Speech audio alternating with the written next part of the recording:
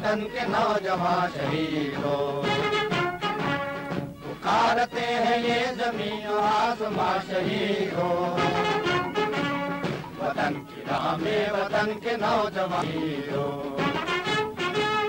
गुलाम उठ वतन के दुश्मनों से इंतकाम।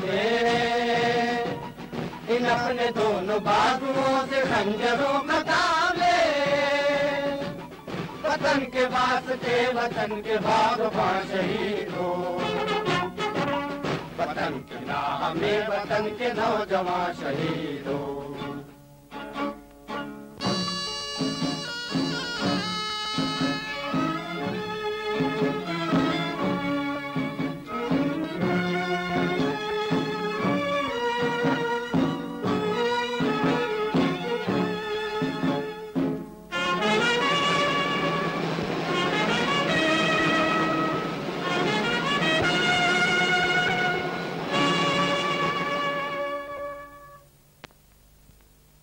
अपनी ये तस्वीर उन शहीदों की भेंट करते हैं, जिन्होंने वतन की आज़ादी के लिए अपनी जिंदगियाँ हँसते हँसते कुर्बान कर दी। 1930 में जब राष्ट्रपिता महात्मा गांधी ने नमक का कानून तोड़कर ब्रिटिश सरकार के खिलाफ आंदोलन किया था तो पंजाब के एक शहर अमृतसर में महात्मा गांधी की। इनकलाब। महात्मा गांधी की। इनकलाब। महात्मा गांधी की। इनकलाब। महात्मा गांधी की। इनकलाब। का मुंतशिर कर दो। जुलूस का मुंतशिर कर दो। जाओ राय बहादुर तोय कदा राय बहादुर तोय कदा महात्मा गांधी की इनकलाब महात्मा गांधी की। इनकलाब। महात्मा गांधी की। इनकलाब।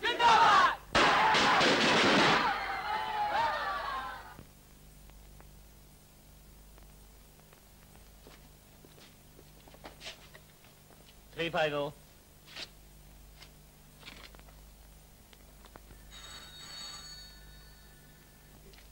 hello Ram अपनी माँ को बुलाना। अच्छा पिताजी। माँ? पिताजी का टेलीफोन है। हेलो? तुम लोग सेठ हिम्मत राय के यहाँ चले जाना। मैं वहीं आऊँगा। तो राम और मैं दोनों जाए? अच्छा। देखिए विनोद आपके यहाँ गया हेलो? देखना विनोद वहाँ है। कौन विनोद? विनोद? आ रहा है। हेलो विनोद? देखो बेटा तुम राम के साथ पार्टी में चल जाना। जी। मैं भी वहीं पहुँच जाऊँगा। हाँ? अच्छा पिताजी। माँ मैं बड़ा होऊँगा तो जवाहरलाल बनूँगा। हाँ मेरे परंतु माँ फिर पिताजी को मोतीलाल बनना पड़ेगा। शरारती? चाची अगर राम जवाहरलाल बनेगा तो मैं कमला नेहरू बनूँगी। ओ मेरी बहुरानी बनोगी। तो लो मुँह मीठा कर लो। और तुम क्या बनोगे विनोद? मैं? मैं पुलिस का कप्तान बनूँगा। और राम को पकड़कर कैद करूँगा। अच्छा? अच्छा तुम खा लो मैं अभी आई। हम्म, अरे वाह रे टोडी बच्चे राम को पकड़ के कैद करेगा। देखो शीला। विदेशी कपड़े पहन के टोडी बच्चा बन गया है। राम को कैद करेगा। ए देखो शीला तुम मुझे टोटी बच्चा कह दिया तो कुछ नहीं कहता। अगर और कोई कहता उसका मुँह तोड़ देता। अच्छा तो हम कहते हैं तुम्हें टोडी बच्चा।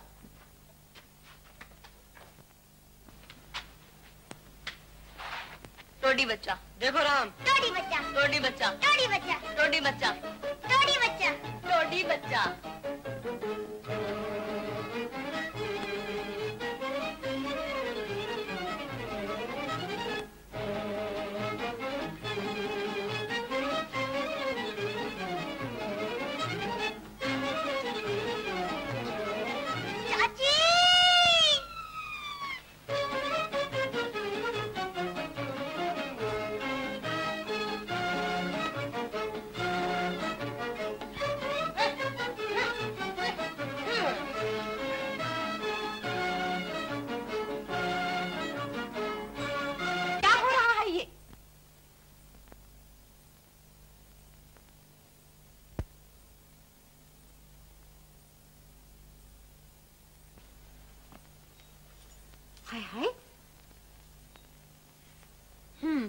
जवाहरलाल और कमला नेहरू मिलकर लोगों को मारा करते हैं। चलो अब पार्टी में जाने का वक्त हो गया। चलो विनोद।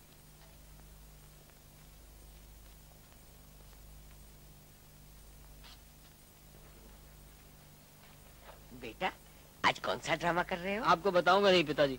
मगर ड्रामा ऐसा करूँगा कि आप सब याद रखेंगे। अच्छा? लेकिन देख राय बहादुर द्वारकादास आ रहे हैं। कोई कांग्रेसी ड्रामा ना करना। राम मेरी मांग में संदूर भर दो। लाओ मैं लगा दूँ शीला नहीं विनोद राम भरेगा। देखो शीला अगर तुमने राम से सिंदूर लगाया तो मैं तुम्हें मारूँगा। ए मैं नहीं हूँ इधर मारेगा।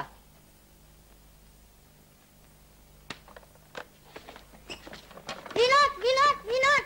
अरे। भैया। तुम लोग आपस में लड़ क्यों रहे हो। चलो ड्रामे का वक्त हो गया है।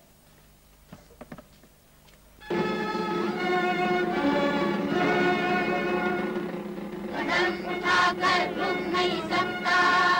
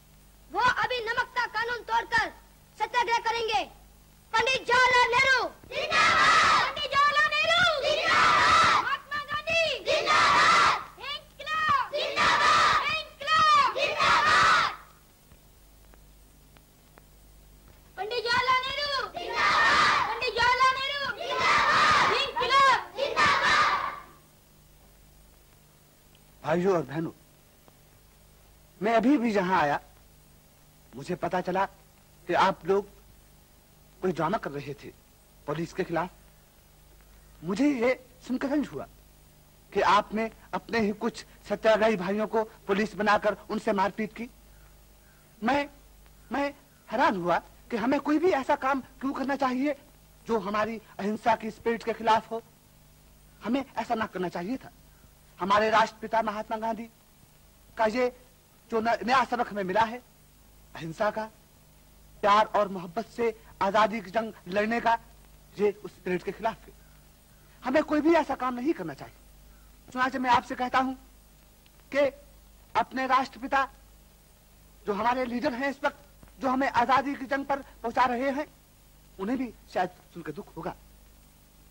और अब, क्योंकि वक्त थोड़ा है, मैं आपसे कहता हूँ कि अपने राष्ट्रपिता के हुक्म के मुताबिक मैं नमक का कानून तोड़कर सत्याग्रह करूँगा और पुलिस मुझे पकड़ने आएगी। आप उनसे कोई दंगा फसाद नहीं कीजिए, बल्कि उन्हें आराम से मुझे पकड़ ले जाने दीजिए। वंदे मातरम पंडित जवाहरलाल नेहरू जिंदाबाद इंकलाब जिंदाबाद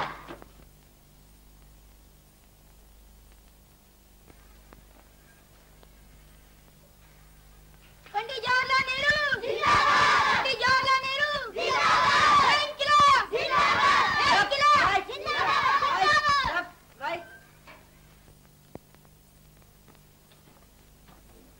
आप गिरफ़्तार कर लिए गए। बंद करो ये ड्रामा।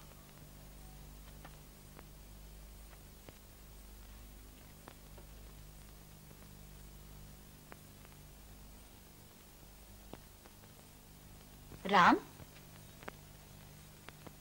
माँ से रूठे हो बेटा?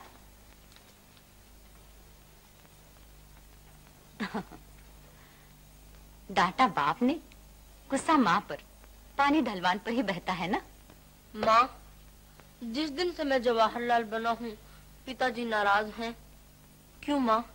क्या जवाहरलाल जी अच्छे आदमी नहीं हैं? ऐसा ना कहो मेरे लाल। जवाहरलाल तो हमारे दिलों के राजा हैं। वो माँ धन्य है जिसने इन्हें जन्म दिया था। और वो देश भाग्यवान जिसकी नैया की ये खिवैया है। तो फिर पिताजी नाराज़ क्यों है माँ? जवाहरलाल सरकार के दुश्मन है। और तुम्हारे पिताजी सरकार के नौकर। अच्छा तो इसलिए मेरा खेलना कूदना मिलना जुलना बंद। देखो माँ ये पिताजी का अन्याय है। मैं ऐसी आज्ञा का पालन नहीं करूँगा। मैं शीला से मिलूँगा और ज़रूर मिलूँगा। मैं जा रहा हूँ। अच्छा तो कुछ खा पी लो ना। सुबह से तुमने कुछ खाया नहीं है। माँ शीला से मिले हुए चार दिन हो गए हैं। उसके बिना जी नहीं लगता। पहले शीला से मिलाऊं शील? कुछ खा लो नहीं मेरी बच्ची। राम को अभी बुलाए देते हैं। नहीं पिताजी जब तक राम नहीं आएगा कुछ नहीं खाऊँगी।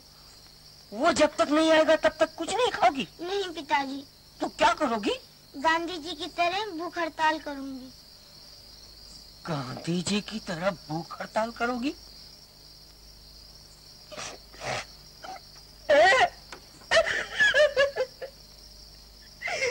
ओ शील की अगर ज़िंदा होती तो ये तेरे औलाद का दुख मुझे न देखना पड़ता।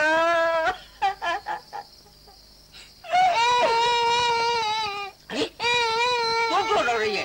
चुप। गोपाल। अरे ओ गोपाल। जी पिताजी। अरे पिताजी के बच्चे घर का घर चौपट कर दिया तूने। कोई जवाहरलाल तो कोई गांधी। देख देख। भूख हड़ताल की धमकी दी जा रही है। जाओ बुला लो राम को।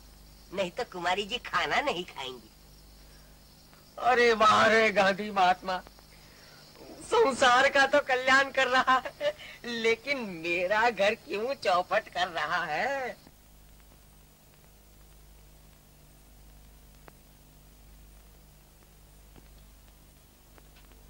कहाँ जा रहे हो तुम? मैं शीला के घर जा रहा हूँ। तुम्हें मना किया गया था ना? तो फिर? चलो अंदर। चलो।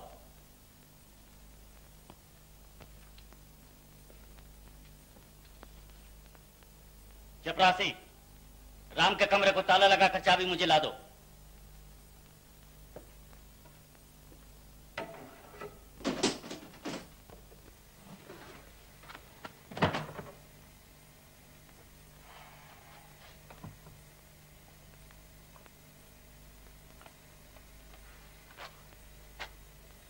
पंडित जी।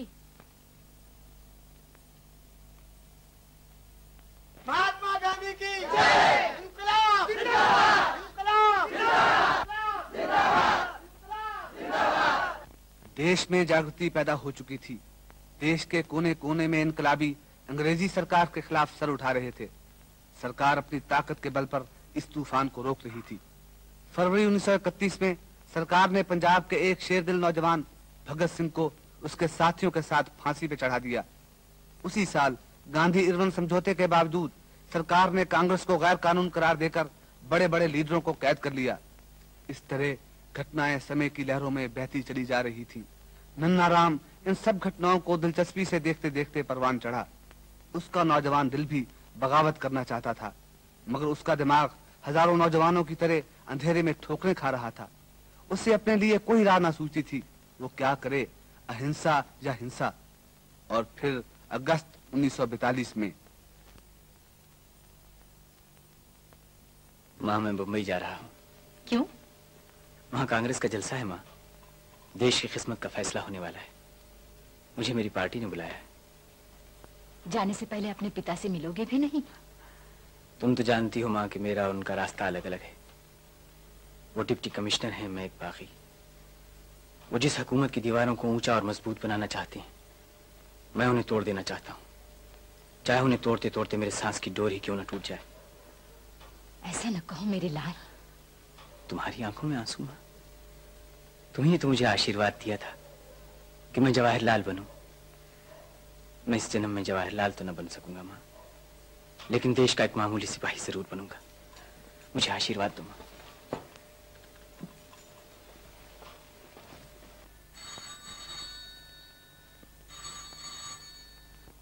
कौन? जी चाचा जी मैं विनोद। देखिए पिताजी आज आ रहे हैं। अच्छा तुम्हारे पिताजी आ रहे हैं? बड़ी खुशी की बात है। तो आज का खाना यहीं रहेगा।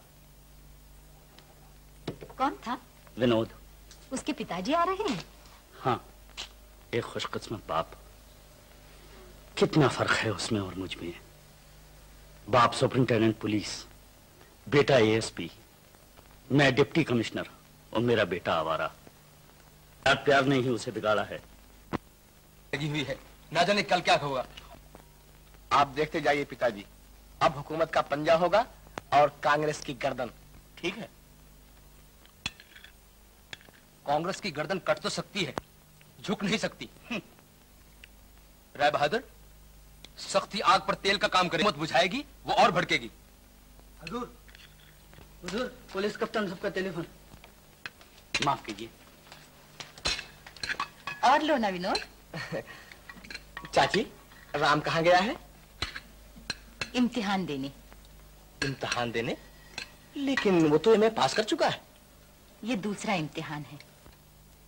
जी। यस। यस। वो ऐसी मैं विनोद को अभी भेजता हूँ। विनोद, और देखिए, मुझे इतला देते रहिएगा। अगर मेरी ज़रूरत हो तो मुझे बुला लीजिएगा। विनोद तनूरी का टेलीफोन आया है। सीआईडी ने अभी इतला दी है।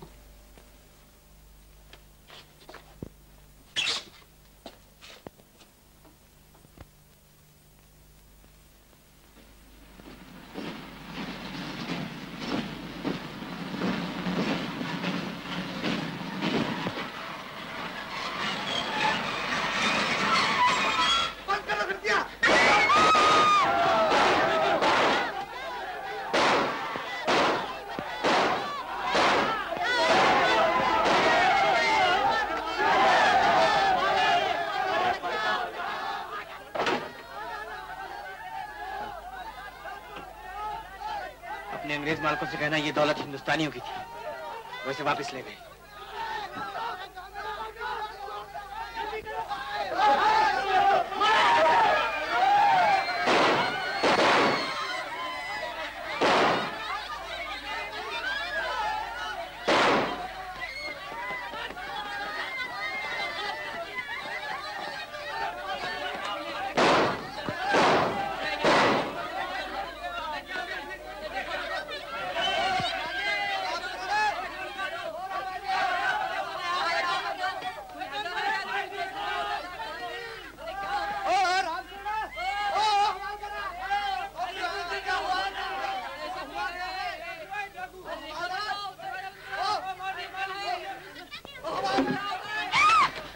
शोर न मचाइए मैं चोर नहीं मैं सच कहता हूँ मेरी बात का यकीन कीजिए।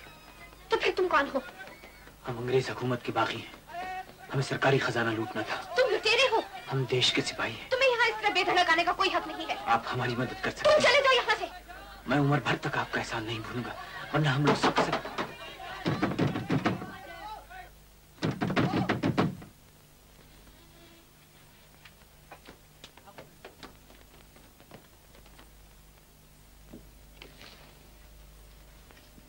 कौन विनोद जी हाँ तुम यहाँ कैसे अ, अमित सर ने तुमसे वादा किया था ना कि स्टेशन पर लेने आऊँगा। दरअसल बात तो यह है कि चंद डाकुओं ने सरकारी खजाना लूटा है। इसी सिलसिले मुझे यहाँ तक आना पड़ा। कोई पकड़ा भी क्या? हाँ दो चार आदमी पकड़े गए। बाकी फिर पकड़ लिए जाएँगे। अच्छा मुझे और डब्बों की तलाशी लेनी है। अम्बाले में फिर मिलेंगे। सुनो अम्बाले में तुम राम से मिले? कैसा है वो? वह जैसा बचपन में था। अब तो वो भी बड़ा हो गया होगा। जी नहीं। मैं उससे नहीं मिला। वो अंबाले में नहीं था।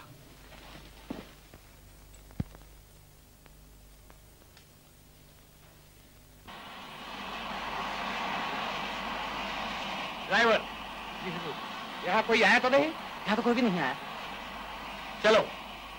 चलो चलो चलो जल्दी जल्दी जल्दी जल्दी स्टार्ट करो।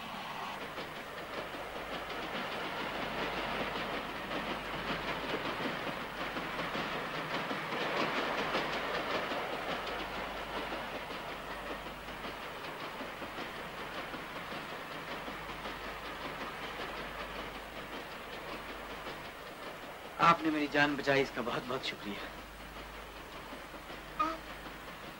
आप जाएँगे कहा? जी इसका अभी कुछ ठीक नहीं किया। पुलिस आपका पीछा कर रही है। आप बचकर कहाँ जाएँगे? यही तो मैं भी सोच रहा हूँ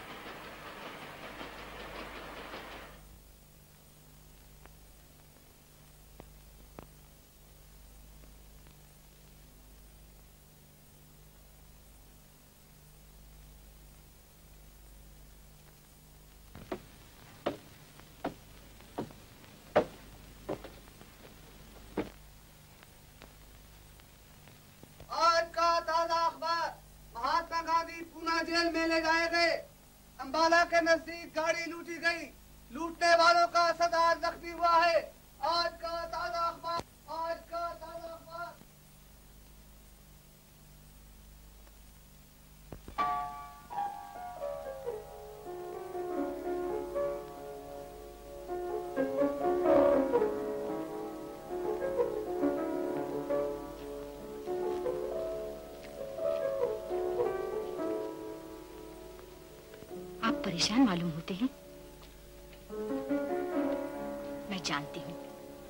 आपका पियानो बजाना ही परेशानी की निशानी है। आखिर मैं बाप हूँ ना। गो सख्त दिल ही सही लेकिन फिर भी बाप हूँ। एक बाप अपनी औलाद से बहुत उम्मीदें रखता है। वो अपने ज़िंदगी के अधूरे ख्वाब अपनी औलाद से पूरे होते देखना चाहता है। लेकिन राम। क्या हुआ? राम ने कुछ किया? यही तो मैं जानना चाहता हूँ कि उसने क्या किया। क्या राम आ गया? हाँ कल आधी रात को आया। ठहरो। सुना है तुमने? कल रात गाड़ी लूटी गई है। लुटेरों का सरदार जख्मी हुआ है। राम भी चार दिन घर से गायब रहा है। जाओ, उससे पूछो कि वो चार दिन कहाँ रहा है। मैं सही वाकया जानना चाहता हूँ।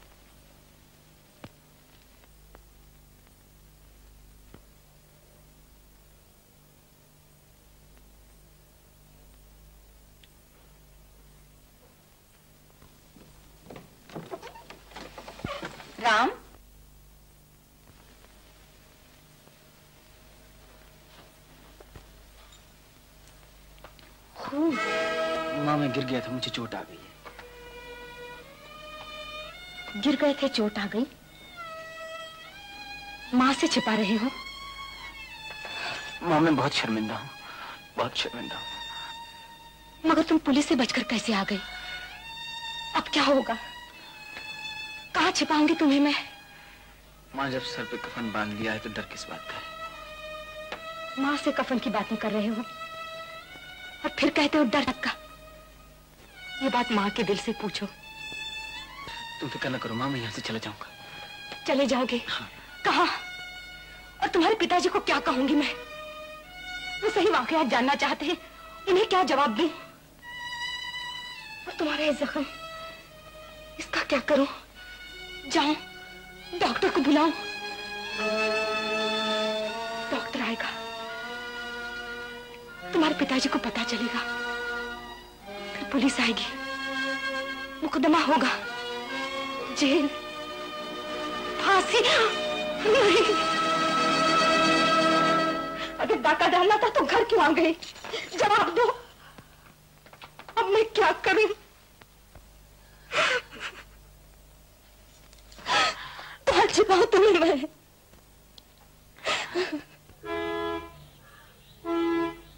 पुलिस ठहरो मैं देखती हूँ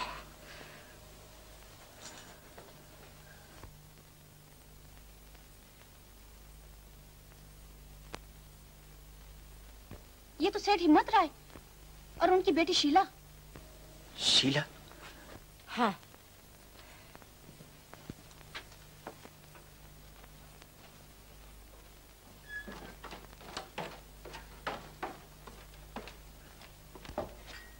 शीला।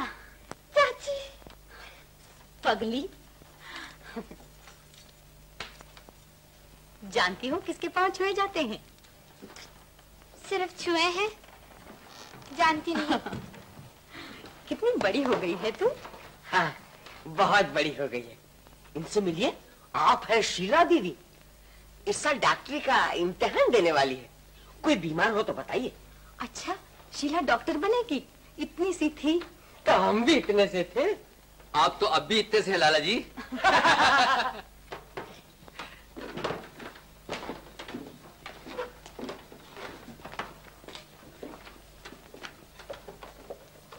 चाची राम कहाँ है? राम। हाँ राय बहादुर राम कहाँ है? उसकी माँ से पूछिए। भाभी राम को बुलाइए ना।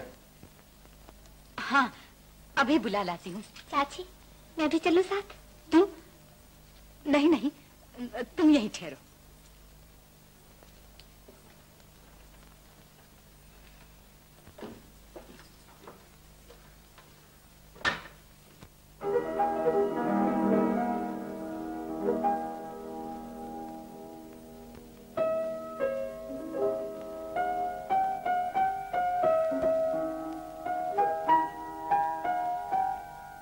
शीला तुम्हें पियानो बजाना आता है?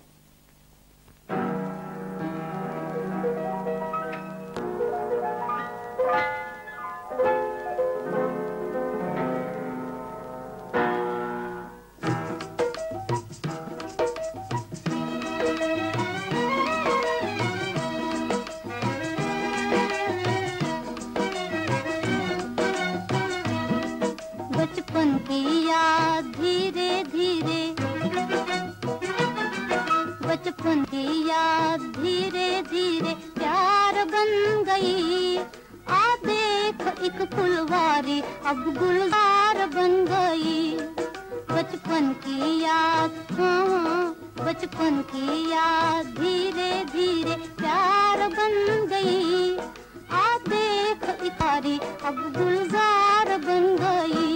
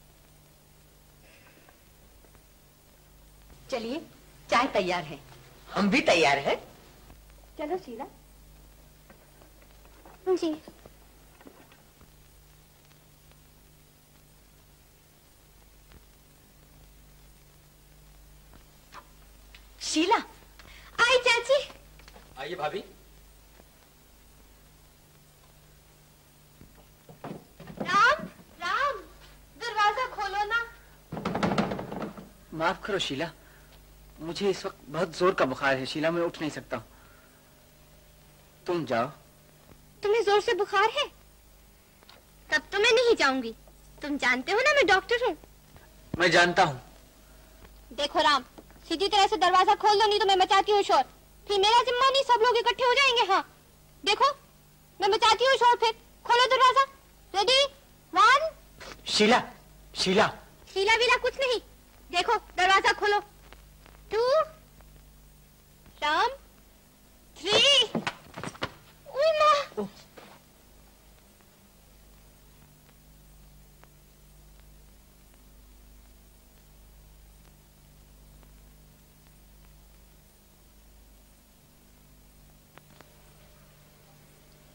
वही, बिल्कुल वही। आज से दस बरस पहले वाले राम। मेरी कल्पना ने मुझे धोखा नहीं दिया। और मैं कैसी हूँ, राम?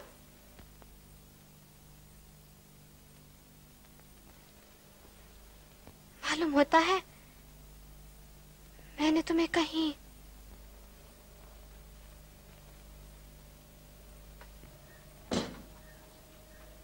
तुम कल गाड़ी में इसलिए तो मैं तुमसे नहीं मिलना चाहता था।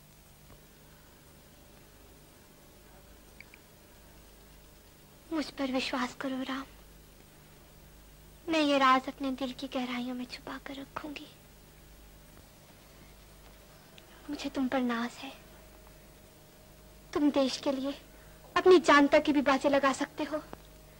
राम क्या हुआ? खून रात के हादसे में मुझे गोली लग गई शीला। गोली निकलवाई नहीं अभी तक। राम तुम्हें खतरे का एहसास नहीं? है एक घंटे के अंदर गोलियाँ निकली तो जानते हो? मैं जाती हूँ चाचा के पास। डॉक्टर बुलाए। तुम्हारा ऑपरेशन होगा। शीला! डॉक्टर आएगा तो मैं पकड़ा जाऊँगा शीला। मैंने तो ये सोचा ही नहीं। ब्रिटिश सरकार की फांसी की बजाय मुझे ऐसे ही मर जाने दो शीला। ऐसा ना कहो। ऐसा ना कहो राम। मैं क्या करूँ? तुम जानते हो मैं डॉक्टर हूँ। मैं करती हूँ तुम्हारा ऑपरेशन। तुम्हें मुझ पर विश्वास है? तुम्हें अपने आप पर विश्वास है। हाँ। लेकिन ऑपरेशन बिना क्लोरोफॉर्म के होगा। सह लोगे? सह लूँगा। अच्छा तो मैं भी लाती हूँ अपना बैग।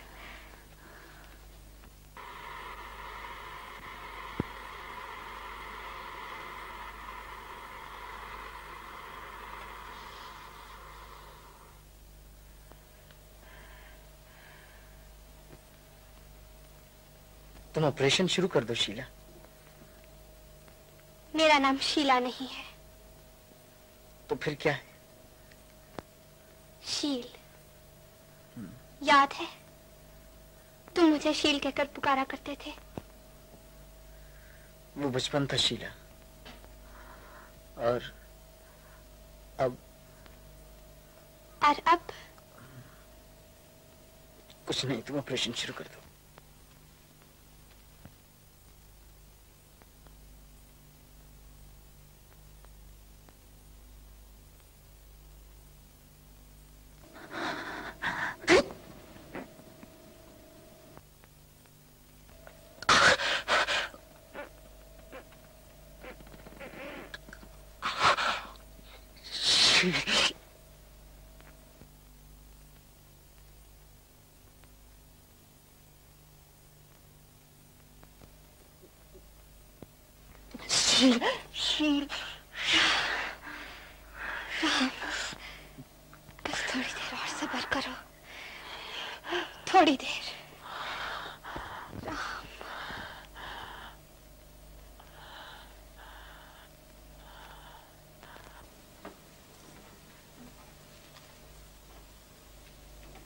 ये लो। आज दूसरी बार तुमने मेरी जान बचाई है शीला। ये तुम्हारा दूसरा एहसान है। अच्छा जी। राम तुमसे एक बात पूछूँ? पूछो। ऑपरेशन होते वक्त तुमने अपना सर मेरी गोद में क्यों रख दिया था? बस यूँ ही कोई और डॉक्टर होता तो भी तुम ऐसा ही करते? ना राम अरे भाई राम। गोपाल भैया। भैया भैया तुम आ गए। मैं तो समझी थी तुम तो मैंने गिरफ़्तार कर लिए गए होगे। तुमने जिद की थी कि गिरफ्तारी से पहले तुमसे ज़रूर मिलूं इसलिए चला आया। अरे भाई राम तुम मुंबई से बगैर मिले ही चले आए।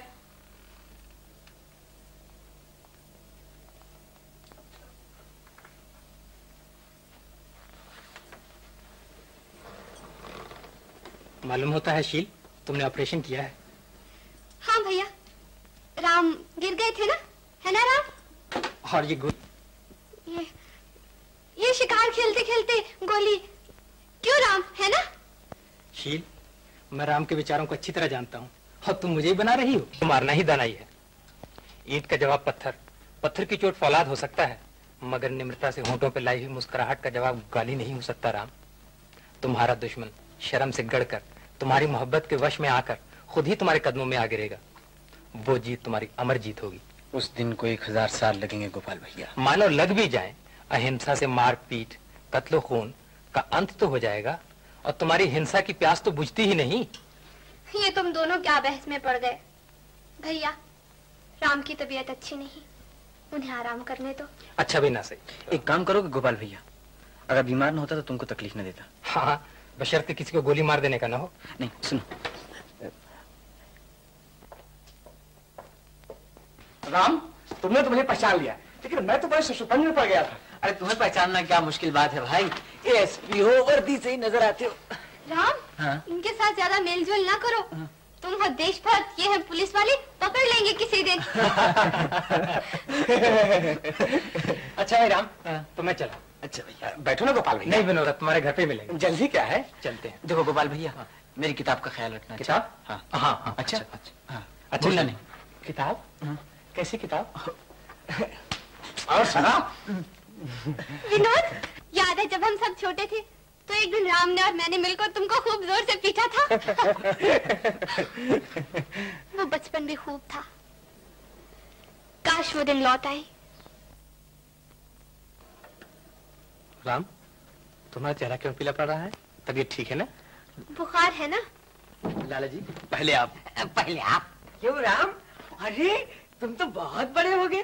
तुम तो हमको मिलने को आने वाले थे। और फिर आए नहीं तो हम खुद चले आए। कैसे हो राम? नमस्ते चाचा जी। हाथ को क्या हुआ? कुछ नहीं चोट आ गई थी मुझे जरा। अरे तब तो मेरी शिला ने ठीक कर दिया होगा। जी हाँ। डिप्टी साहब एक दिन मेरी कार में एक्सीडेंट हो गया। और मेरी कमर टूट गई। लेकिन शीला कार के अंदर बैठी हुई थी। इन्होंने कट से जोड़ दी नहीं शीला। तो शीला की चोट नहीं आई थी क्या? नहीं आई थी। अरे आई थी आई थी। आई थी? नहीं आई थी नहीं आई थी। मालूम होता है राम का खून बहुत ज़्यादा निकल गया है। तभी तो चेहरा भी इतना जर्द पड़ गया है। क्यों शीला? अरे भाई चोट लगने से खून नहीं बहेगा तो क्या पानी निकल आएगा? लेकिन सवाल ये पैदा होता है कि खून निकला कैसे? क्यों शीला? विनोद राम की तबीयत अच्छी नहीं। उसे आराम की ज़रूरत है। चलो चलें। चलते हैं। आप? आ, देखो राम आज तुम घर से बाहर नहीं निकलना समझे? मालूम है तुम्हें? कल रात गाड़ी लूटने के हादसे में एक डाकू पुलिस की गोली से जख्मी हो गया था। अरे हाँ हाँ और पुलिस उसकी तलाश कर रही है। कहीं धोखे में तुम पकड़े गए तो खामखा चाचा जी पर इल्ज़ाम आएगा कि उन्होंने गुनहगार को पनाह दे रखी है। बस बंद करो। चलो घर चले।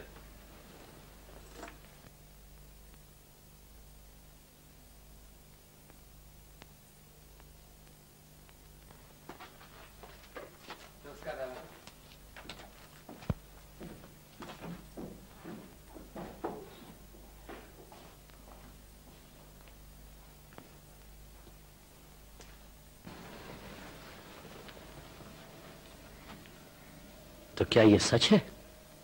क्या? गाड़ी लूटने और गोली लगने का वाकया। अगर हो भी तो क्या होगा? अगर हो भी तो क्या होगा? क्या होगा? पुलिस आएगी हकड़ियाँ पहनाएगी जेल जाओगे फांसी की सजा होगी। तुमने गाड़ी लूटी है आदमी मारे हैं तुम्हें फांसी की सजा होगी। तुम्हें फांसी की सजा होगी। और मैं खुश होऊँगा। मैं खुश होऊँगा। तुम जैसे नलायक बेटे का मर जाना ही अच्छा है। अब भी मैं तुम्हें बचा सकता हूँ। मौत के मुँह से निकाल सकता हूँ। तुम माफ़ी मांग लो।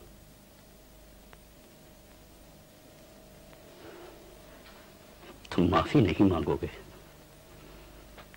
माफ़ी नहीं मांगोगे। ये मुझसे नहीं होगा पिताजी। तो निकल जाओ यहाँ से।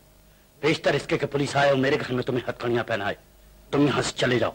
जो आ गया पिताजी।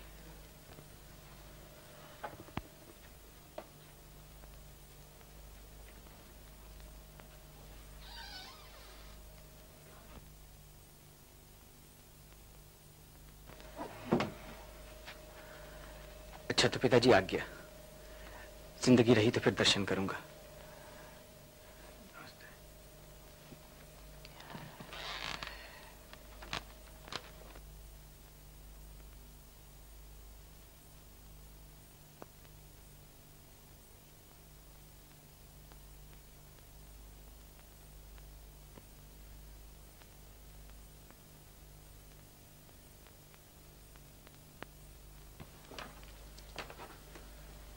मैंने सब कुछ सुन लिया है राम। मुझे तुमसे यही उम्मीद थी। मैं खुश हूँ। मुझे आशीर्वाद दो माँ।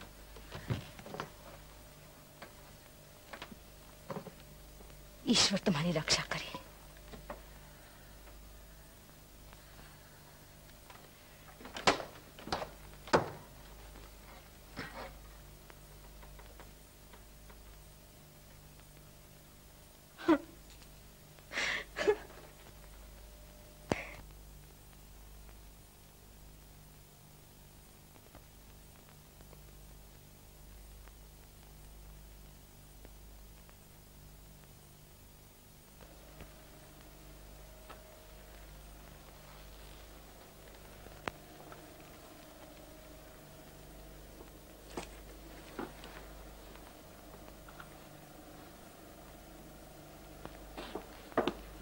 विनोद ये कंगन तो बहुत अच्छा है। सच? तुम्हें पसंद है? हाँ। शीला मैं कितना खुशकिस्मत हूँ। अच्छा? हाँ शीला मेरे और तुम्हारे पिता नीचे हमारी मंगनी की बातचीत कर रहे हैं। शीला सिर्फ़ तुम्हारे यहाँ की देर है। मेरी एक बात मानोगे विनोद? ज़रूर। देखो फिर पीछे बदल नहीं जाना। तुम कहो तो मैं जहर तक खा लूँ। बस बस। इतनी कृपा ज़रूर कर डालो। ये लो पैसे मैं देती हूँ थोड़ा जहर खा लो। तुम्हारे लिए काफ़ी होगा। शीला मुझसे कड़क कर बात मत करो। ये रोब अपने दफ्तर में दिखाना। तुम क्या समझते हो मैं अपना जीवन तुम जैसे देशद्रोही के हवाले कर दूँगी? सूरज देखिए आईने में। शीला तुम मेरी शराफत का नाजायज फ़ायदा उठा रही हो। तुम और शराफत? हम्म, बारह बरस के बाद अपने दोस्त राम से मिलने पर जो तुमने शराफत दिखाई है वो मैंने देखी है। तुम जिस राम पर कर रही हो उसे चंद घंटों के अंदर ही गिरफ़्तार करके जेल में डाल दूँगा। जेल में डाल दोगे। तुम्हारे पास उसके खिलाफ सबूती क्या है? सबूत? सबूत है ये गोली।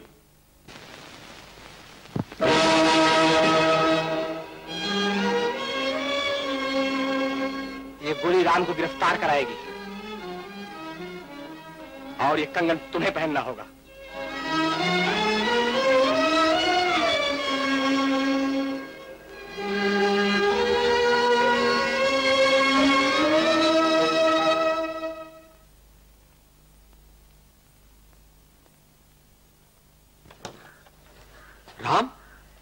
तुम यहाँ बेटा?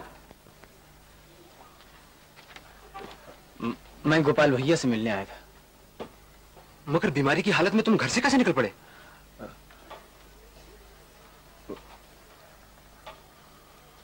समझा। मैं राय बहादुर के विचारों को अच्छी तरह जानता हूँ। राम, तुम चुप रह सकते हो, मगर मैं नहीं। राय बहादुर मेरे भाई की तरह है। आज शाम को वो हमारे घर आ रहे हैं, मैं उनसे बात करूँगा।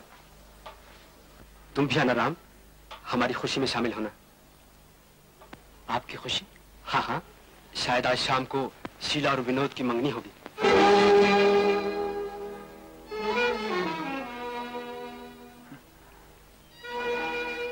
आऊँगा। ज़रूर आऊँगा अच्छा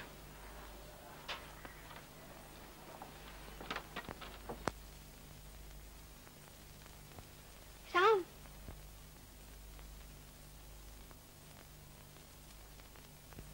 राम राम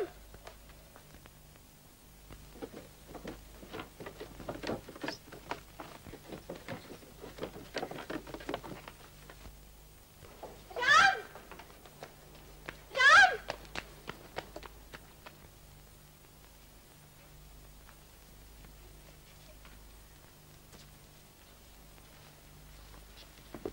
कोई कमरा खाली है? जी हाँ। आपका नाम?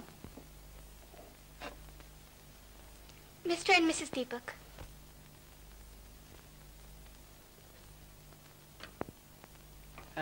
Shamu इन्हें ऊपर के कमरे में ले जाओ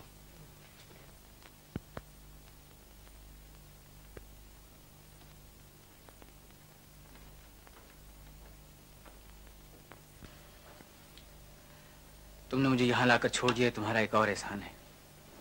अब तुम जाओ। तुम्हें इस हालत में छोड़कर चली जाऊँ? हाँ। क्यों? तुम्हारे घर के लोग तुम्हारी बाबत क्या सोचेंगे? तुम मेरी फ़िक्र ना करो। कैसे न करूँ? आज शाम को तुम्हारी विनोद से मंगनी होने वाली है। तुम घर पर न होगी कितनी बातें होंगी कितनी बदनामी होगी। तुम्हें अपनी इज़्ज़त का डर नहीं मुझे तो है। तुम्हारी इज़्ज़त? हाँ। तुम चली जाओ यहाँ से। तुम्हारा मेरा क्या साथ है? मैं एक बागी हूँ।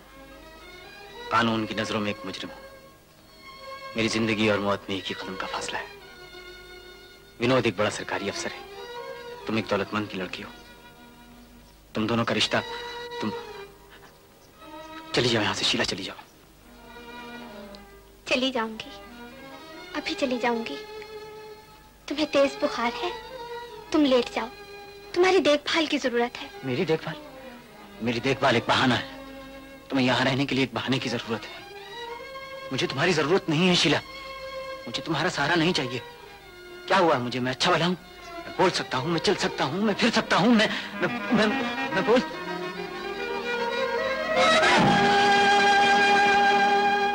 चले जाओ शील। चले जाओ शील। चले जाओ। राम।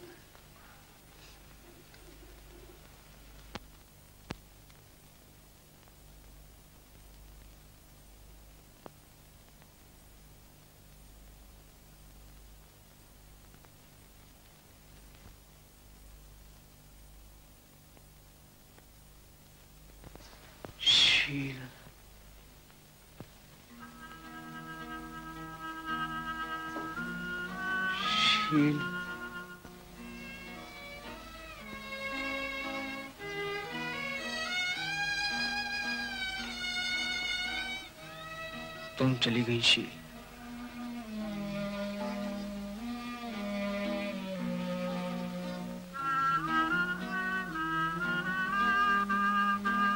तुम चली गई शील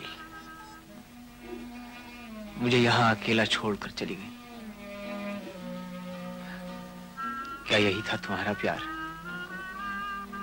काश तुम न जाती। मुझसे लड़ती, झगड़ती, मेरा मुँह बंद कर देती। वापस आ जाओ, शील। जहाँ भी हो, वापस आ जाओ। लेकिन तुम वापस नहीं आओगी। मैंने खुद ही तो तुम्हें ठुकराया था। मुझे गलत मत समझना, शील। मैं तुमसे मोहब्बत करता हूँ। तुम मेरी देवी हो।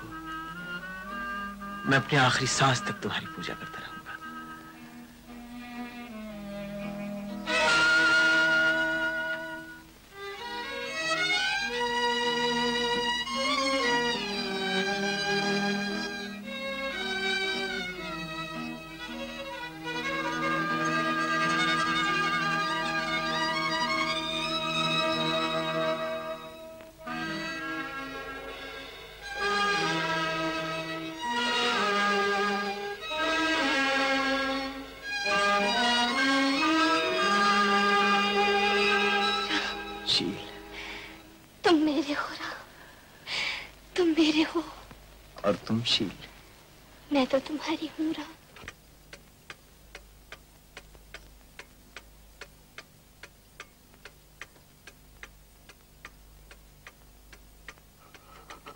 ख्याल है गोपाल भैया पुल तक पहुँच गए होंगे। कुछ और बातें करो राम। कुछ और बातें करो।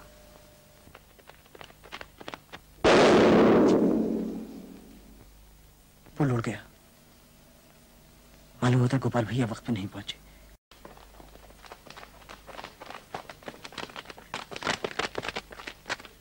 कौन हो तुम एक शरीफ हिंदुस्तानी। यहाँ क्या कर रहे हो? कुछ नहीं। कुछ नहीं? ले जाओ इसे थाने। चलो तुम मेरे साथ। तुम्हारा नाम? गोपाल। तुम वहाँ यूँ ही सैर करने गया था रात का बारह बजे। देखो विनोद तुम्हारे आदमी मुझे पुल उड़ाने के जुर्म में गिरफ़्तार करके लाए हैं। तो आप वहाँ क्या करने गए थे? यूँ ही ओह समझा। शायद राम की किताब लेने गए होंगे। लेकिन विनोद तुम तो जानते हो कि मैं अहिंसावादी हूँ। जानता हूँ। तो फिर आज रात आपको यहीं रहना होगा। कल देखा जाएगा।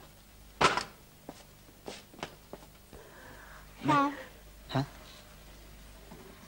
तुमसे एक बात पूछो? पूछो। तुम्हें दोनों में से कौन ज़्यादा प्यारा है?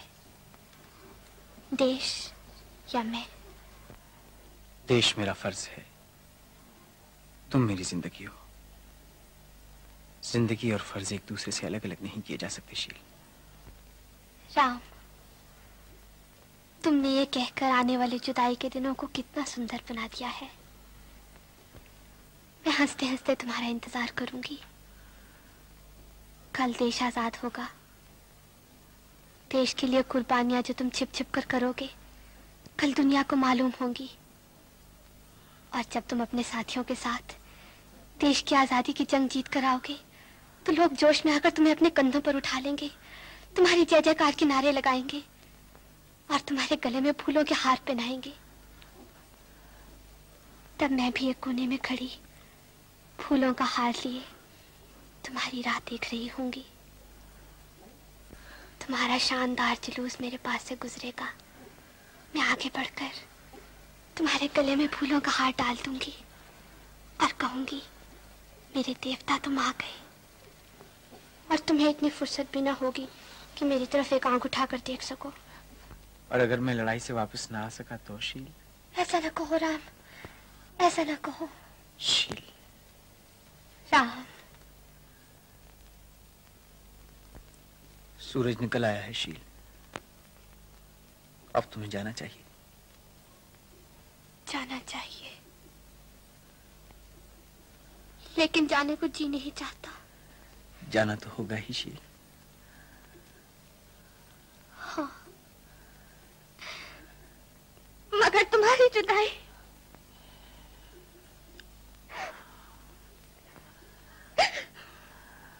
हम जुदा नहीं हो रहे शील। हम जुदा नहीं हो रहे। हमारी आत्मा एक हो चुकी है। वक्त और फासला हमें एक दूसरे से जुदा नहीं कर सकता। तुम जाओ शील। जाओ मेरी शील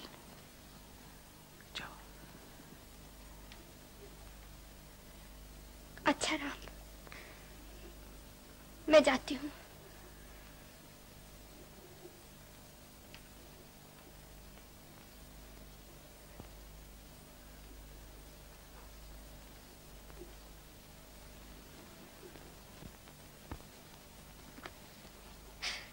अच्छा राम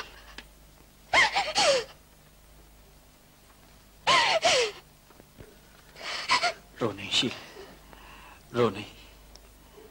मैं हर वक्त तुम्हारे साथ रहूँगा। दिन को याद बनकर, रात को सपन बनकर, तुम जब भी मुझे याद करोगी, मेरे सांस की आवाज़ तुम्हें सुनाई देगी, शील। अब हंस दो, शील। अब हंस दो। हंस दो, शील।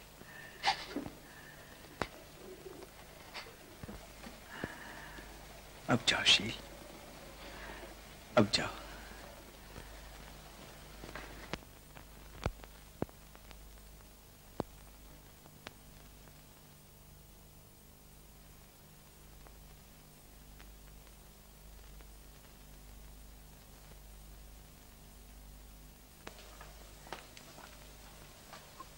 डॉक्टर साहब, बीमार का हाल कैसा है? लीजिए, पैसे मैं देता हूँ। अब जहर आप खा लीजिए।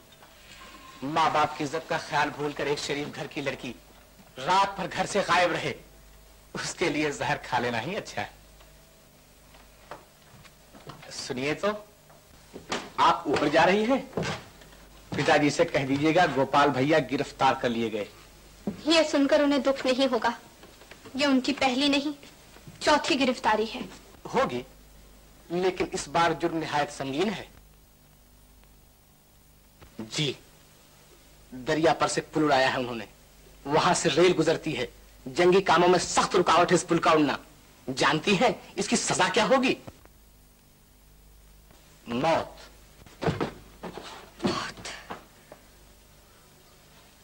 लेकिन भैया तो अहिंसा के पुजारी हैं। वो तो हिंसा को नहीं मानते। वो बेगुनाह है। वो बेगुनाह है या नहीं इसका फैसला अदालत करेगी। ए, मेरा जो फ़र्ज़ था मैंने अदा कर दिया। हाँ मैं अब भी उन्हें छोड़ सकता हूँ। अच्छा ये बताइए एक कल राम और आप इकट्ठे रहे थे ना? तो राम कहाँ है? मुझे नहीं मालूम। मुझे ही मालूम।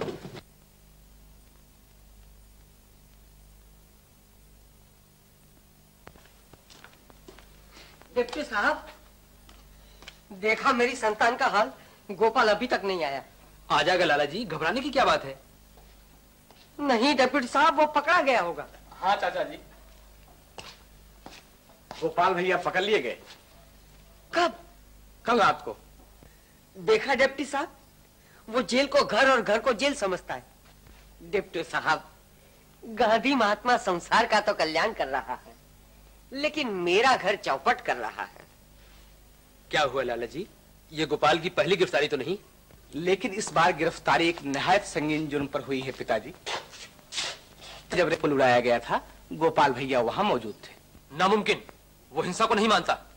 ये तो मैं नहीं जानता लेकिन इतना ज़रूर जानता हूँ कि कल वो उसी जगह पर पाए गए थे और राम के साथ उनकी साजबाज है। विनोद। मुझे अफसोस है चाचा जी मगर मैं क्या करूँ? मैं अपने फ़र्ज़ से मजबूर हूँ।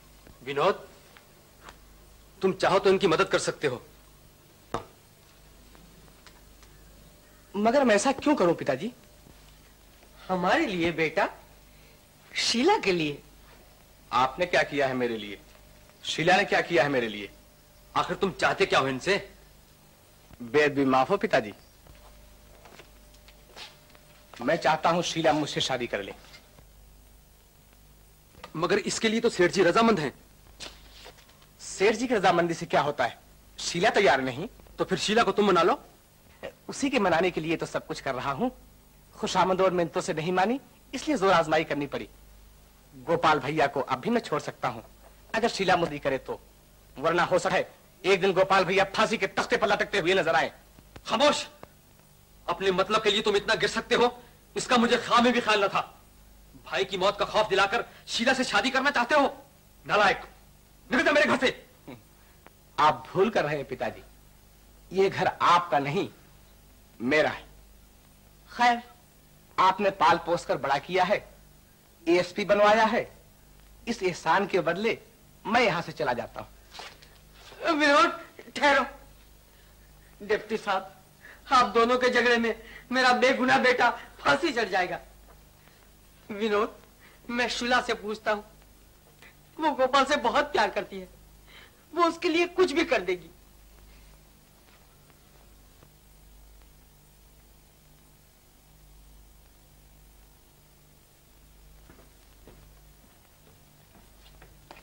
देखिए चाचा जी अगर शीला मान गई तो शादी भी आज ही होगी। मुझे लगन वन पर कोई इतकार नहीं।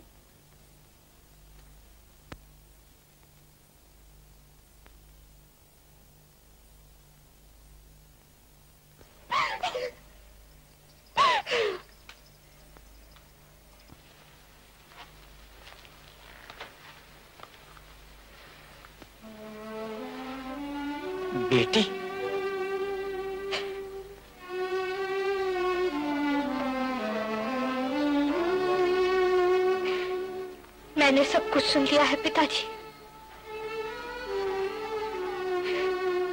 भैया ज़िंदा रहेगा।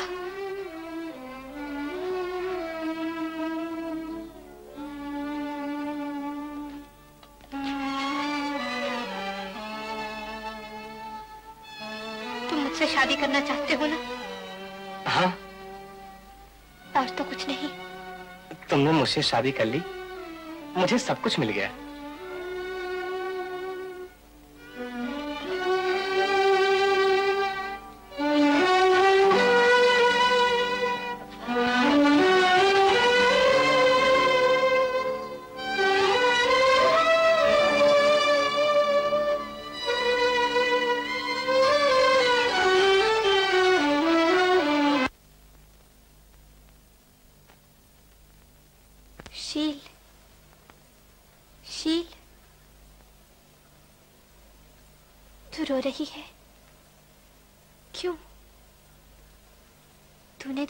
किया है ना?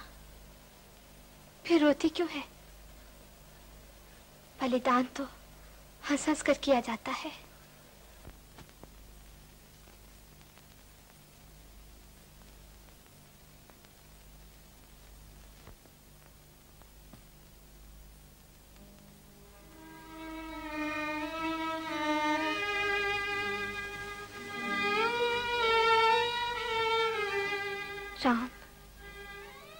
तुम देश की आज़ादी की जंग जीत कर आओगे तो लोग जोश में आकर तुम्हें अपने कंधों पर उठा लेंगे। तुम्हारी जय जयकार के नारे लगाएँगे, तुम्हें फूलों के हार पहनाएँगे।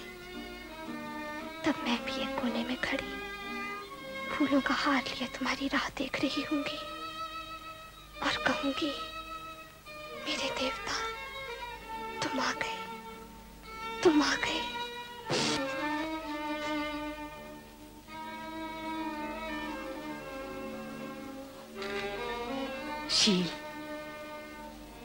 हौसला करो मेरी बच्ची।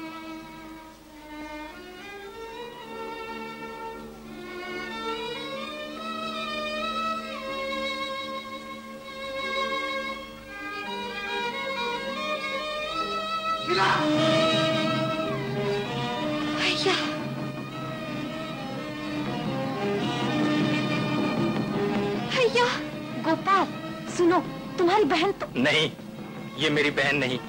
मेरी बहन एक देशद्रोही के साथ शादी नहीं कर सकती।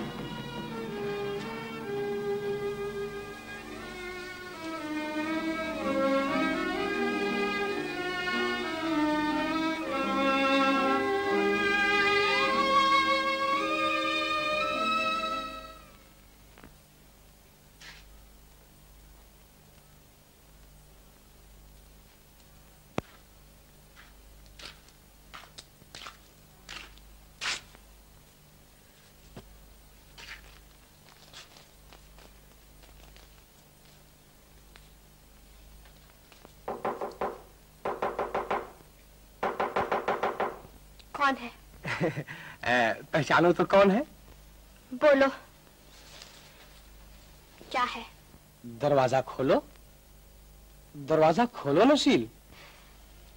मुझे शील ना कहो। मैं तुम्हारे मुँह से कोई भी प्यार का लफ्ज नहीं सुनना चाहती। अजीब बात है। ये सुहाग की रात है या जंग की रात? दुल्हन अंदर दूल्हा बाहर। देखो शीला तुम मेरी स्त्री हो। मैं तुम्हारा पति हूँ। तुमने मुझसे शादी की है। मेरा तुम पर पूरा पूरा हक है। तुम्हारा मुझ पर कोई हक नहीं। मैंने तुम्हें शादी का वचन दिया था सो कर ली। अब तुम चले जाओ यहाँ से। अच्छा ये बात है। सुनो शीला मुझे गुस्सा ना दिलाओ। दरवाज़ा खोलो। खोलो दरवाज़ा नहीं मैं तोड़ दूँगा। खोलो। शीला दरवाज़ा खोलो।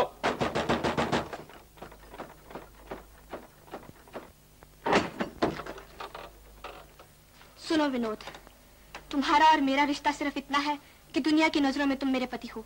और मेरे लिए इससे ज़्यादा कुछ भी नहीं कि मैंने मजबूर होकर तुमसे शादी की है। तुमने मुझे खरीदा है। तुम्हें खरीदी हुई चीज़ से प्यार न मिलेगा। और अगर तुमने ज़बरदस्ती की तो मैं आत्महत्या कर लूँगी। तो सुनो शीला मैं भी कह देता हूँ जिस तरह तुमने मेरे साथ शादी की है उसी तरह तुम एक दिन अपने आप को मेरे हवाले कर दोगी।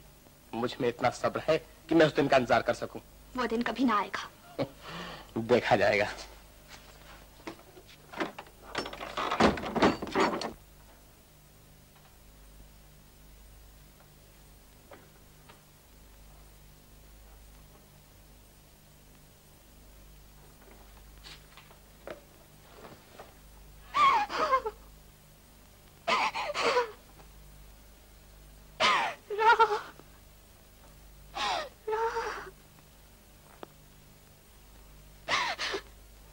शील तुम जब भी मुझे याद करोगी। ये आवाज़ तुम्हें सुनाई देगी।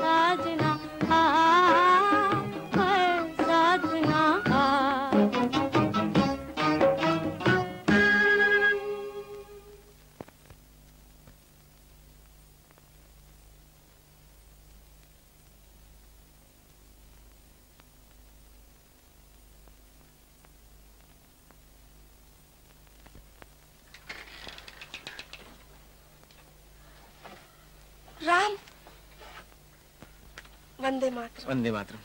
गुरुदेव कहाँ है? चलिए आपको ले चलो।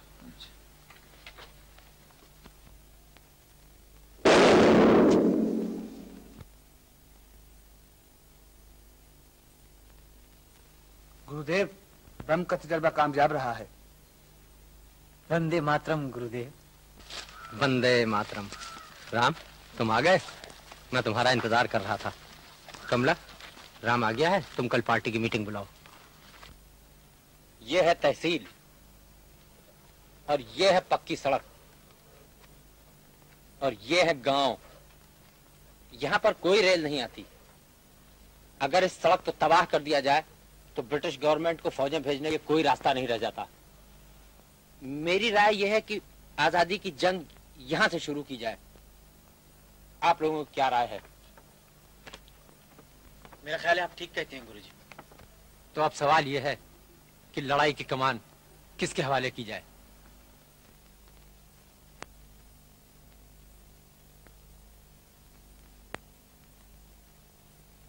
की कमान को तुम्हारे हवाले करता हूँ। मुझे यकीन है, सारे साथी मेरी राय का पास करते हुए तुम्हारे वफादार रहेंगे। इससे शानदार मौत और क्या होगी कि तुम झंडे की हिफाजत करते हुए मर जाओ और लोग कहें, राम, जिंदाबाद। राम जिंदाबाद नहीं गुरुदेव। ये तिरंगा जिंदाबाद। जिंदाबाद। जिंदाबाद। जिंदाबाद।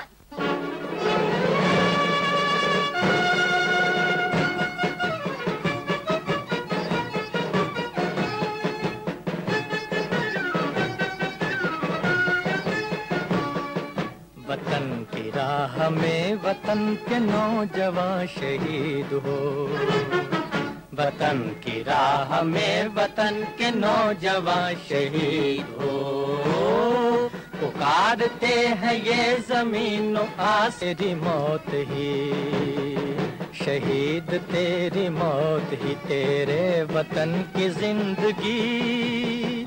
तेरे लहू से जाग उठेगी इस चमन की ज़िंदगी। तेरे लहू से जाग उठेगी इस चमन की ज़िंदगी। खिलेंगे फूल उस जगह पे तू जहाँ शहीद हो।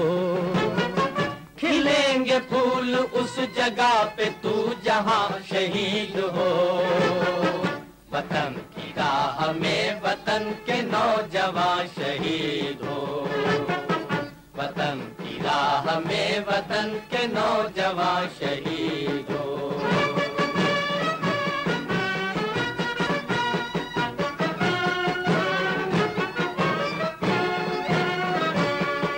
गुलाम उठ वतन के दुश्मनों से इंतकाम ले। इन अपने दोनों बाजुओं से खंजरों का काम ले। चमन के वास्ते, चमन के बाहुबा शहीद हो। वतन की राह में वतन के नौजवान शहीद हो। वतन की राह में वतन के नौजवान शहीद हो।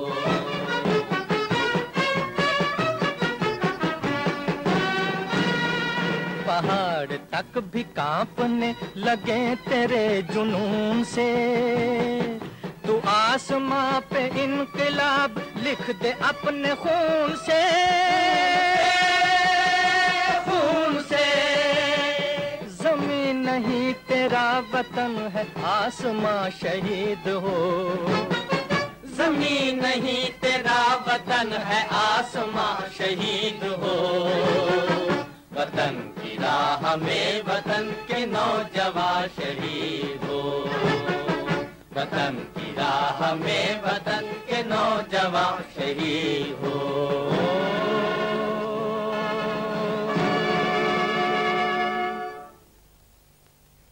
अभी हमें और आगे बढ़ना है।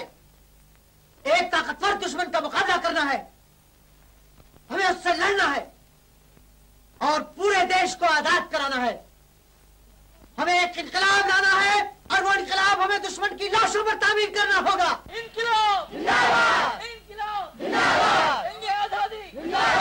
मैं आपसे एक सवाल पूछना चाहता हूँ। गोपाल भैया? गोपाल भैया राम से नहीं एक अहिंसावादी हिंसक से पूछ रहा है। पूछिए। आपकी इस छोटी सी कामयाबी से मैं खुश ज़रूर हूँ मगर मैं आपसे पूछता हूँ कि क्या हमारी आज़ादी का काफिला खून के भरे हुए रास्ते से गुजरेगा? क्या हमारी आज़ादी का शानदार महल लाशों पर खड़ा किया जाएगा? हाँ कोई इनकलाब कभी खून के बलिदान के बगैर कामयाब नहीं हुआ। और नहीं कभी हो सकता है। लेकिन महात्मा गांधी ने हमको एक नई राह दिखाई है। दुश्मन को भी मोहब्बत और प्यार से जीतना अहिंसा के हथियार से लड़ाई। बेशक दूसरे मुल्कों में इनकलाब बगैर खून के कामयाब नहीं हुआ। लेकिन हमें तारीख को दोहराना नहीं उसमें एक नया वर्ग बढ़ाना है। हमें दुश्मन के जिस्म के टुकड़े टुकड़े नहीं करने उनके दिल बदलने आप लोग अभी सोच ही रहे हैं। इनकलाब कभी नहीं सोचता। इनकलाब एक ही असूल जानता है। तलवार का बदला तलवार और खून का बदला खून।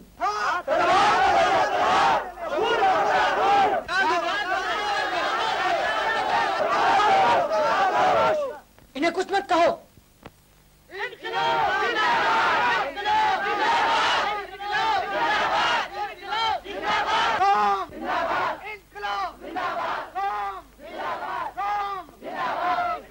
आप यहाँ कैसे आए गोपाल भैया ग्राम सुधार का काम करते करते आप पहुँचा, राम। तो आइए आइए आइए आइए।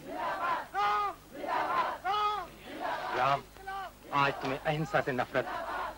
महात्मा गांधी की अटल सच्चाई से वैर है और अपनी हिंसा की शक्ति पर पूरा भरोसा है। लेकिन याद रखो, राम, मनुष्य के खून से रंगी हुई जीत असल में सभ्यता और इंसानियत की सबसे बड़ी शिकस्त है। एक ना एक दिन ना सिर्फ़ तुम्हें, बल्कि सारी दुनिया को महात्मा गांधी के असूलों को मानना ही पड़ेगा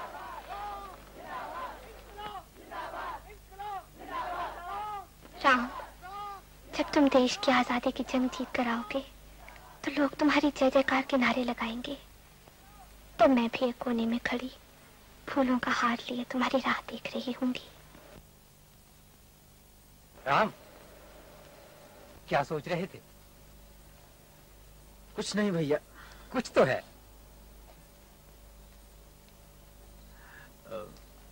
घर में सब कैसे हैं भैया? अच्छे हैं। सब अच्छे हैं? सब अच्छे हैं? मुझे याद करते हैं कभी? हाँ हाँ। क्या कहते हैं? तुम्हारी तारीफ़ करते हैं और और पिताजी कहते हैं कि राम बहुत बहादुर है और वो मौत से नहीं डरता और शील क्या कहती है भैया?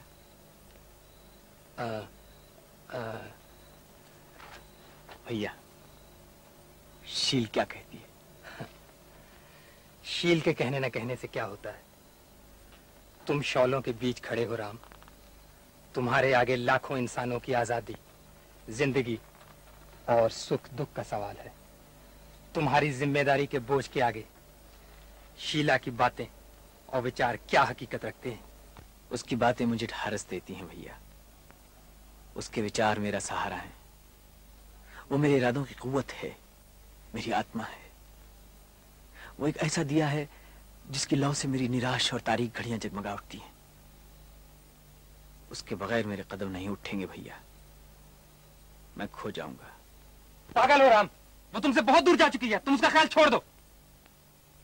क्या मतलब? तुम उसका ख्याल छोड़ दो। मैं कहता हूँ तुम उसका ख्याल छोड़ दो। भैया! हाँ राम उसने विनोद से शादी कर ली है।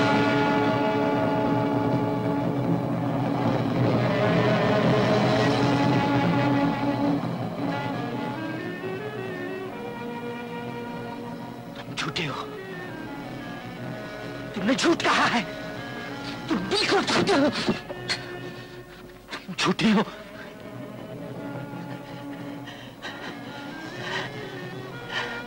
राम, तुम इन बातों से बहुत बुलंद हो। तुम्हें हिम्मत नहीं हारनी चाहिए। हौसला रखो।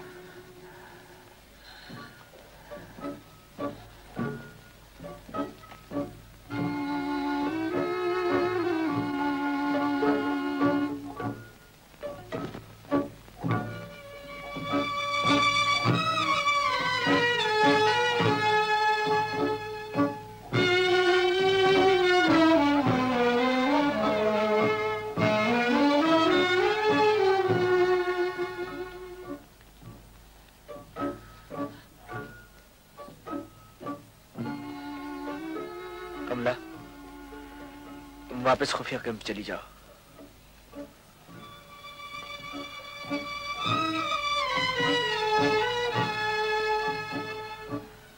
गोपाल भैया,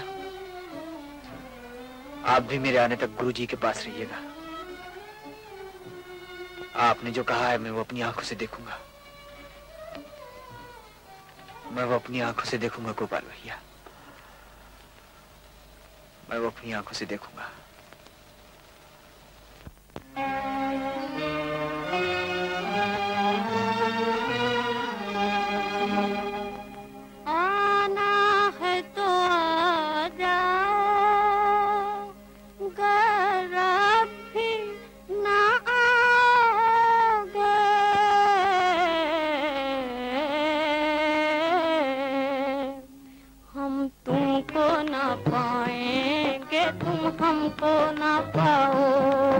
हम तुमको ना पाएँगे तुम हमको ना पाओगे।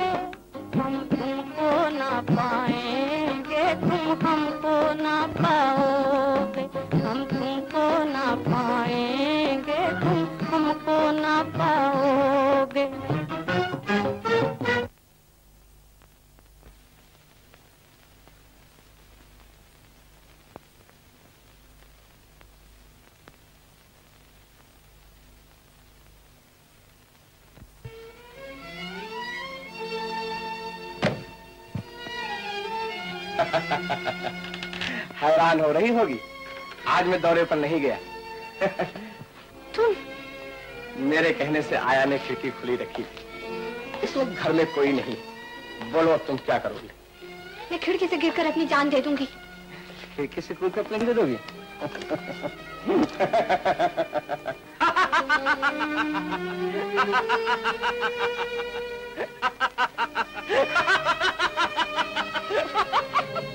शीला का सर विनोद किसी ने?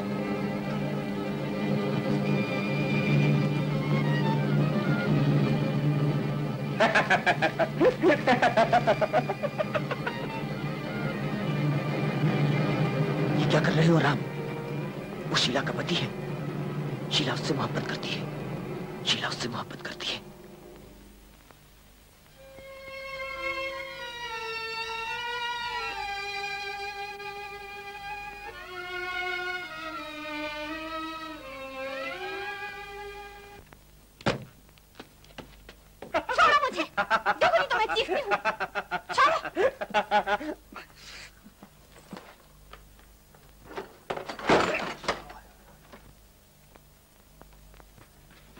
बात है बहू जी वो पिताजी हम तो मज़ाक कर रहे थे। विनोद तुम तो दौरे पे जाने वाले थे ना? जी बस अच्छा तो मज़ाक करने के लिए दौरे पे नहीं गए।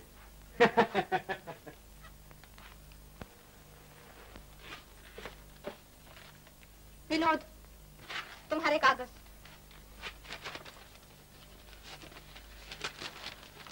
अरे ये तो राम के कागज़ है। मालूम होता है राम यहाँ आया है। लेकिन आया कहाँ से?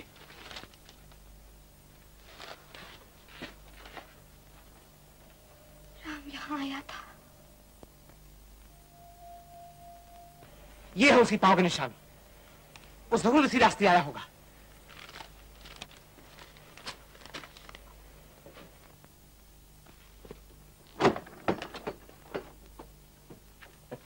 ये कागज़ राम के खुफिया ठिकाने के। शुक्रिया। चंद ही दिनों में राम के ठिकाने पर हमला करता हूँ। फिर देखना क्या होता है।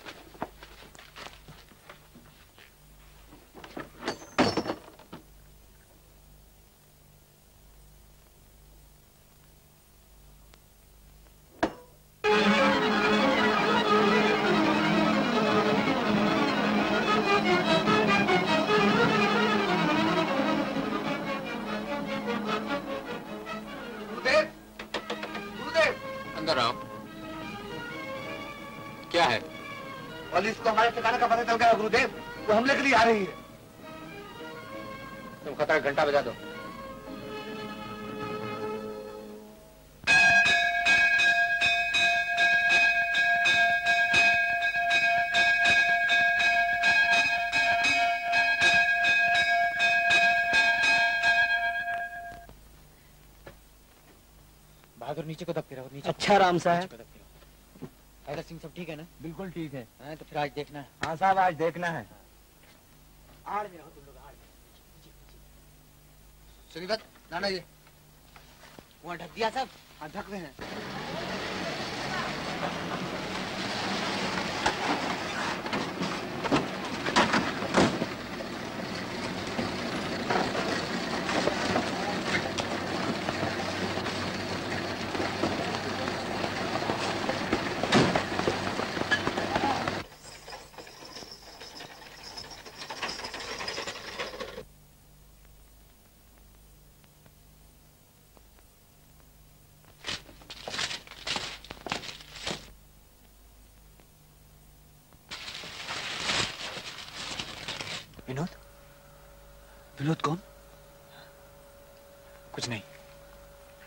हैदर सिंह। जी साहब। अपनी बंदूकें तैयार कर लो। अच्छा साहब शूट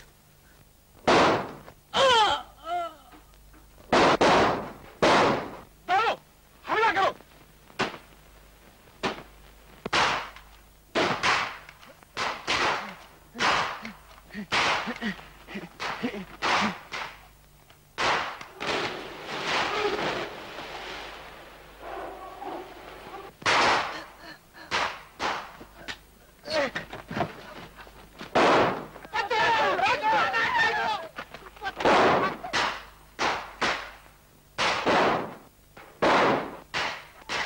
तुम लोग मेरे पीछे पीछे आओ।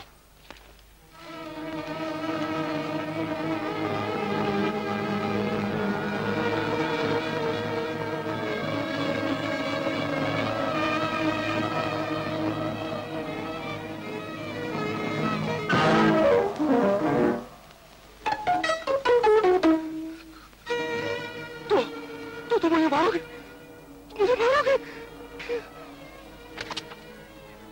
इसमें तुम्हें शक क्यों है? तो मारो। मारो। आता हूँ। उठो। उठो उठो। उठो। चलो मेरे।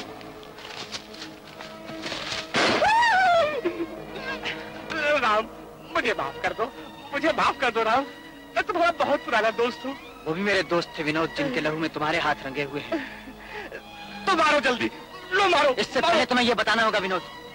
तुम्हें हमारा ठिकाना किस गद्दार ने बताया? है शीला ने। शीला ने?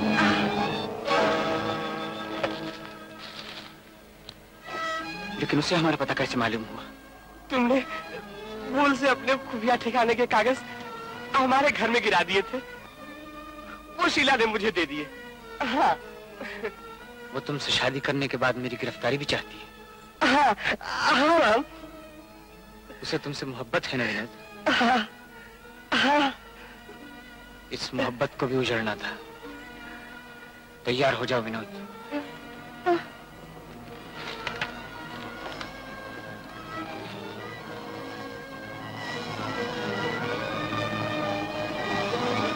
राम, तुम शीला से मोहब्बत करते हो। तुम उसका सुहाग नहीं छीन सकते। राम राम।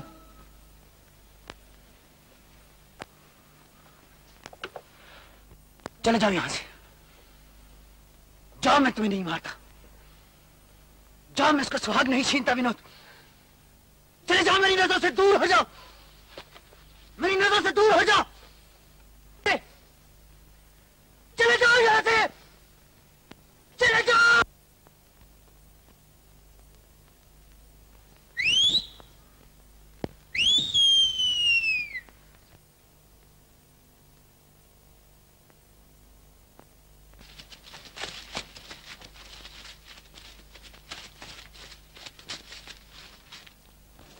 मेरा ख्याल है देव खतरे के हद के बाहर निकल चुका होगा। अब हमें भी चले चलना चाहिए। जैसी आपकी मर्ज़ी। अच्छा तो चलो चले।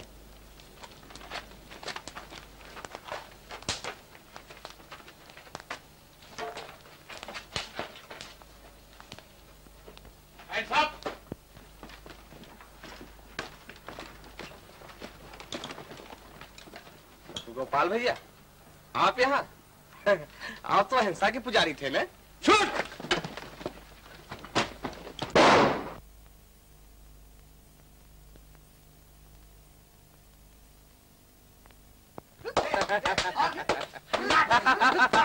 विनोद। विनोद। उस पे दबाव डालना। और कमला, तुम्हें नस बनकर शीला के घर जाना होगा। मैं जानता हूँ यह काम आसान नहीं। लेकिन गुरुजी को बचाने के लिए हमें अपनी जान पर भी खेल देना होगा।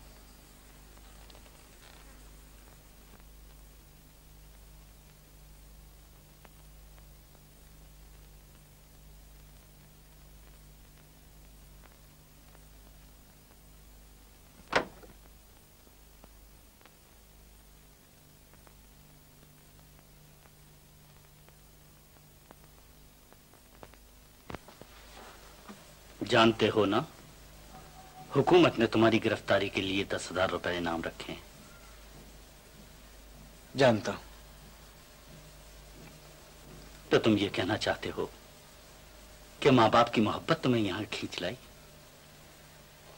जी नहीं। मुझे मेरा फ़र्ज़ यहाँ लाया।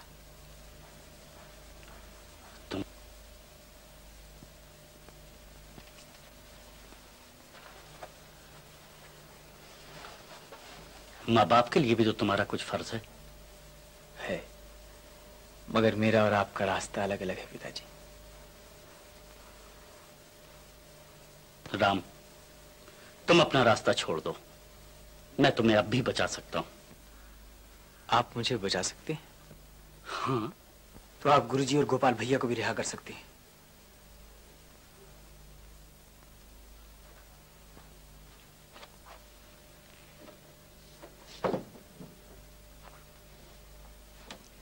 शायद उनको रिहा कर देता। लेकिन अब नहीं करूँगा। क्यों? उन्होंने मेरा बेटा मुझसे छीना। उन्होंने तुम्हें गुमराह किया। उन्होंने मुझे गुमराह नहीं किया पिताजी। मुझे गुमराही से बचाया है। एक दिन आएगा जब आपको अपनी गलती का एहसास होगा। तुम्हारा ये दावा है? जी। तो अभी मैं नहीं छोड़ूँगा। तो फिर मुझे डर है पिताजी कि मेरी पार्टी का हुक्म और मेरा असूल मुझे मजबूर न कर दे कि मैं कि मैं आपको जान से मार डालू। तो तुम मुझे जान से मारोगे?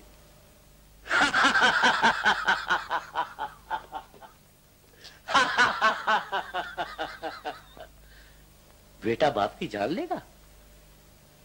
राम मुझे बहुत खुशी हुई कि तुम अपने उसूलों के लिए अपने बाप की जान ले सकते हो।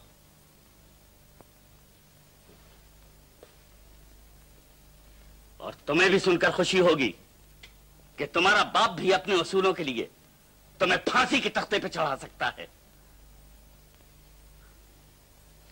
फ़र्क सिर्फ़ इतना है पिताजी क्या आपका असूल सरकार के लिए है। और मेरा देश के लिए। देश? इस नारे ने बहुत से लोगों को बर्बाद कर दिया। और उनमें तुम भी हो। देश के लिए किसने क्या किया? सब अपने लिए करते लीडरी मिलती है। इज़्ज़त होती है। फूलों के हार पहनाए जाते हैं। जय जय के नारे लगाए जाते हैं। जी हाँ। हथकड़ियाँ भी पहनाई जाती हैं। बर्फ़ के सिलों पर नंगे बदन भी लिटाया जाता है। गले में फांसी का फंदा भी डाला जाता है। खैर, जाने दीजिए। मैं आपसे अपने सवाल का जवाब चाहता हूँ। आप मेरे गुरुजी और गोपाल भैया को रिहा करेंगे या नहीं? नहीं। मैं इन धमकियों से डर बैठा हूँ, उसकी इज़्ज़त बचाना भी जानता हूँ। मैंने तुम जैसे सैकड़ों बागियों के सर कुचले हैं। इससे पहले कि मैं कानून को हरकत दूँ, चले जाओ यहाँ से।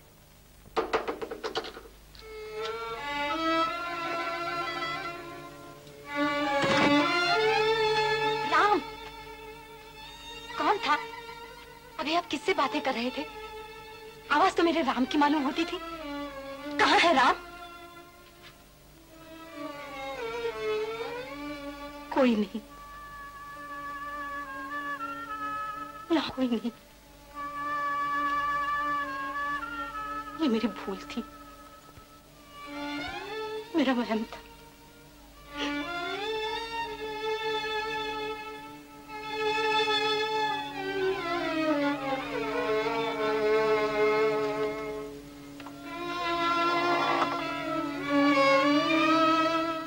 अपनी माँ को।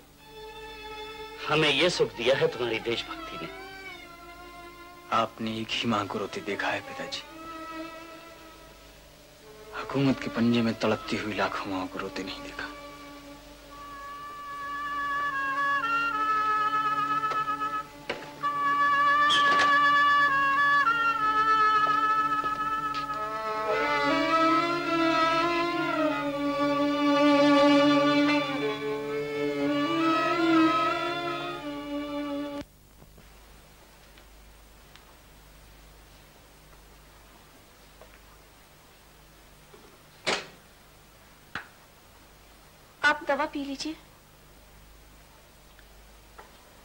क्या समझती हो? मैं दवा पीकर अच्छी कोई नहीं पूछता।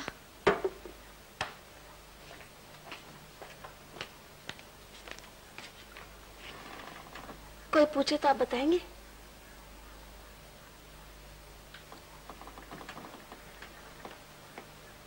तुमने कभी किसी से प्रेम किया है? नहीं। तो तुम क्या समझोगी? किसी की सूरत देखना मेरा इलाज है। किसी की बातें सुनना मेरी दवा है।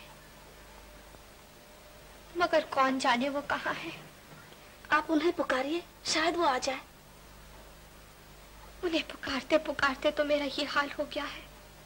एक बार फिर पुकारिए, वो कहीं भी हो, ज़रूर आ जाएँगे। सच! मगर बिना बीमारी में क्या हाल हो गया है? वो मुझे पहचान सकेंगे? वो आपकी आवाज़ तो पहचान लेंगे। हाँ। तो तुम तुम ये रोशनी बंद कर दो। वो सिर्फ़ मेरी आवाज़ सुने। मुझे देखे नहीं।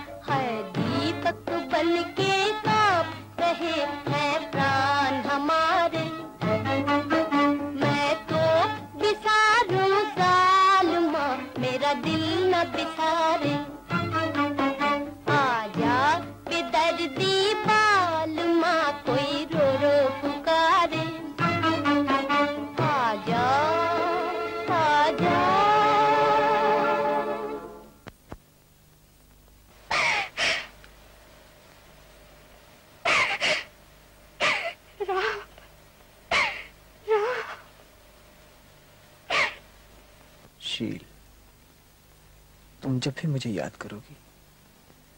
मेरे सांस की आवाज़ तुम्हें सुनाई देगी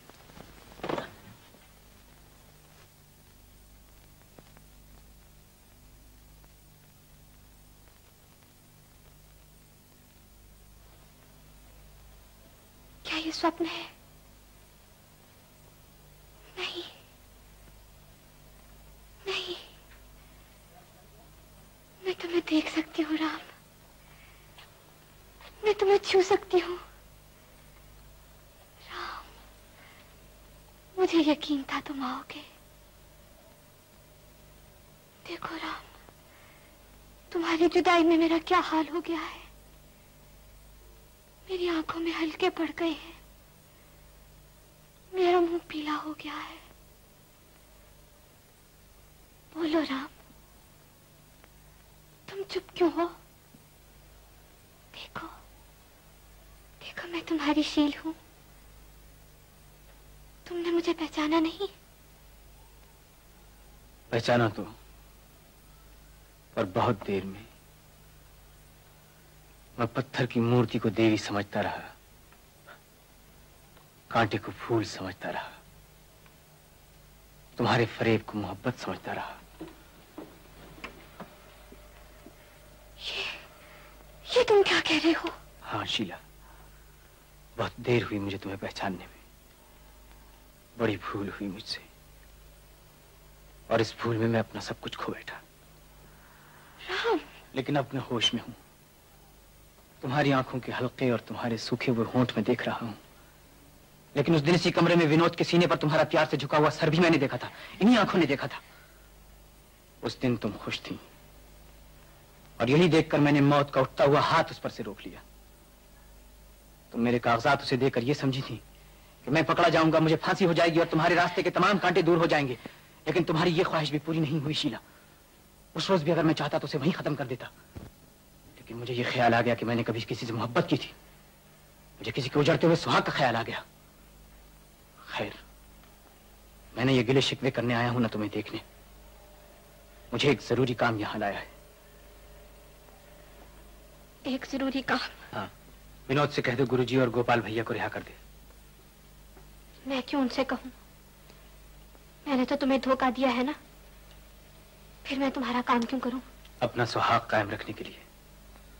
अगर विनोद ने उन्हें न छोड़ा तो वो भी ज़िंदा नहीं रह सकता शीला। राम विनोद आ रहा है।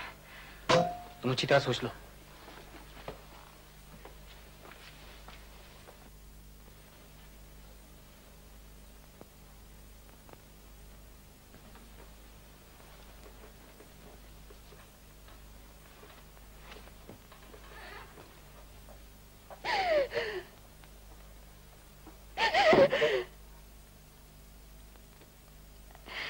राम तुम भी मुझे नहीं समझे तुम भी मुझे नहीं समझे राम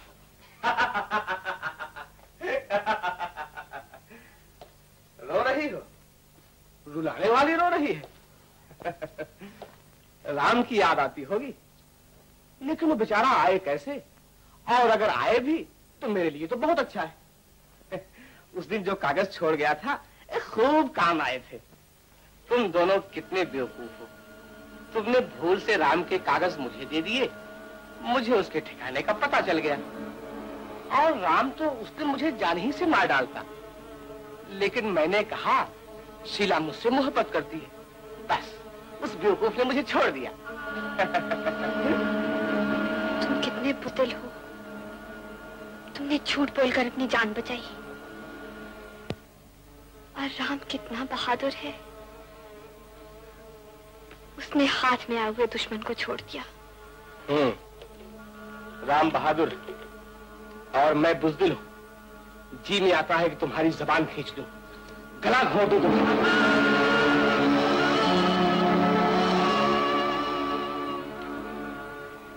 राम के लिए तुम्हारा ये हाल हो रहा है। मेरी सख्ती का निशाना बन रही हो लेकिन फिर भी तुम्हारे दिल से राम का ख्याल नहीं जाता। राम का ध्यान कैसे जाए? मैंने उससे मोहब्बत की है। सौदा नहीं किया। मेरी आखिरी सांस तक मुझे राम का ध्यान रहेगा। शादी से पहले भी तुम यही कहा करती थी लेकिन तुम्हारे मनाने का तरीका मुझे आता है। गोपाल की मौत के डर से तुमने मेरे साथ शादी की। इस वक्त गोपाल मेरे पंजे में है। तुम अपने आप को मेरे हवाले कर दो। नहीं तो गोपाल को मैं फांसी के तख्ते पर लटका दूँगा। मुझे गुरुदेव और गोपाल भैया की रिहाई चाहिए। मुझे गुरुदेव और गोपाल भैया की रिहाई चाहिए। अगर मैं अपने आप को तुम्हारे हवाले कर दूँ, तो तुम गुरुजी और गोपाल भैया को छोड़ दोगे? छोड़ तो नहीं सकता। हाँ फांसी की सजा से ज़रूर बचा सकता हूँ। अच्छा तो तुम मुझे उनसे एक दफ़ा मिला सकते हो? अ, तो क्या तुम मुझे आ, एक दफ़ा उनसे मिला दो। अच्छा मैं जाकर के उन्हें ले आता हूँ। मुझे उम्मीद है कि तुम मेरी हो जाओगी।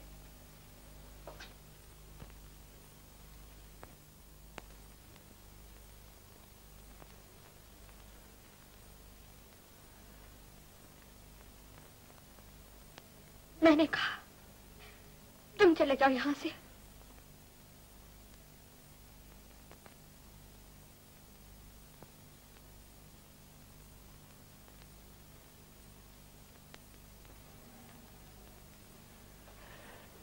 शील मुझे माफ़ कर दो शील। मुझे माफ़ कर दो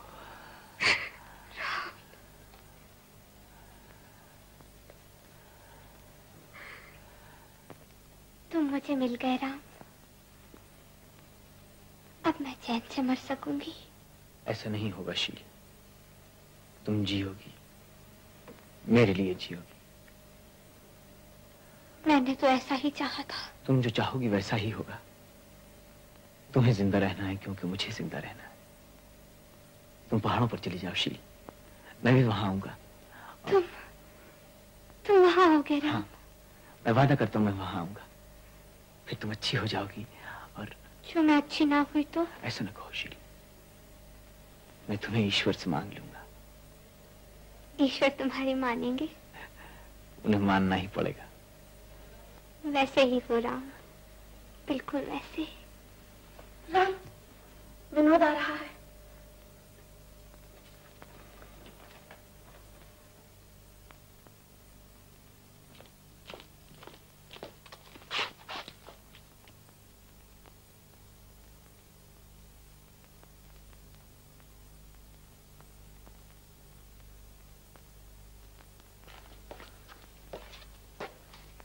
मैं अपने वादे के मुताबिक इन्हें ले आया हूँ।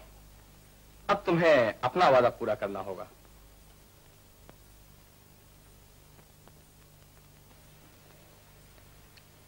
विनोद मैं इनसे कुछ बातें करना चाहती हूँ। हाँ हाँ। बेशक बेशक।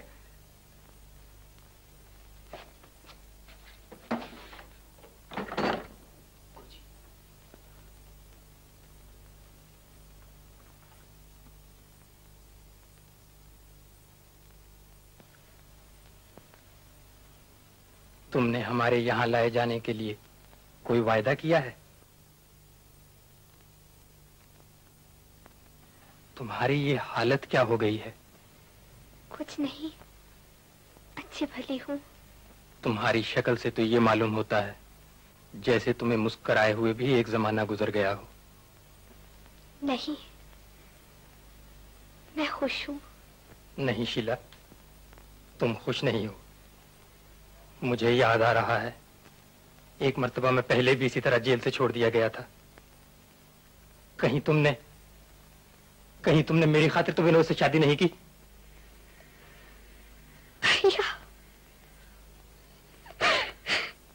शील ये तुमने क्या किया शील मेरी खातिर अपना सुख अपना प्रेम सब कुछ बलिदान कर दिया। मैंने तो कुछ भी नहीं किया भैया।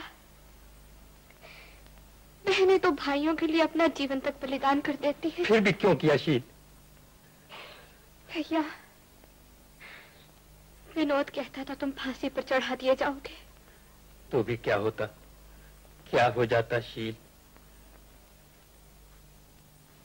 मेरी अच्छी बहन मुझे माफ़ करना। मैंने तुम्हारा दिल दुखाया था। राम गोपाल भैया। अच्छे शील। भैया।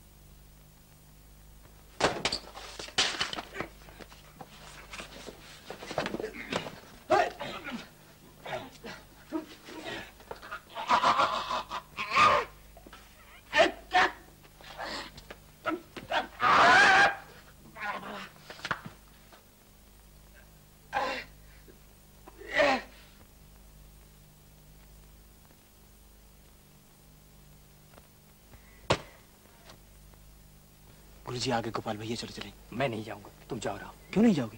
मैं अहिंसावादी हूँ राम। हमारा असूल छिप कर लड़ना नहीं बल्कि सत्याग्रह करते हुए गिरफ़्तार हो जाना है। पागल नहीं बनो भैया तुम चलो। जाओ राम। भैया तुम जाओ राम। भगवान तुम्हारी रक्षा करे।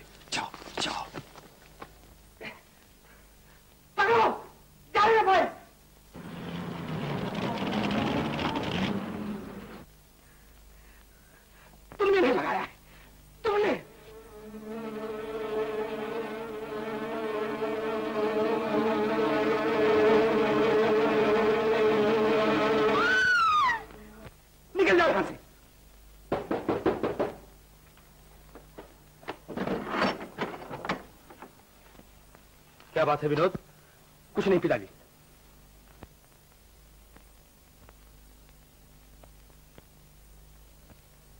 इधर आओ मेरे साथ।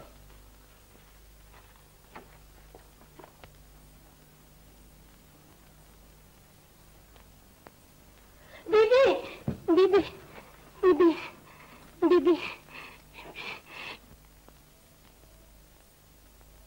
विनोद साहब टीबी तीसरे स्टेज में पहुँच चुका है? आप जल्द ही इन्हें किसी पहाड़ पे भेज दीजिए। भेज दूँगा। हाँ ज़रूर भेज दीजिए। ज़रूर भेज दूँगा। वहाँ राम आएगा। राम आएगा? मैं उसे गिरफ़्तार करूँगा। मैं उसे गिरफ़्तार करूँगा। साहब इलाज की तो आपको भी ज़रूरत है।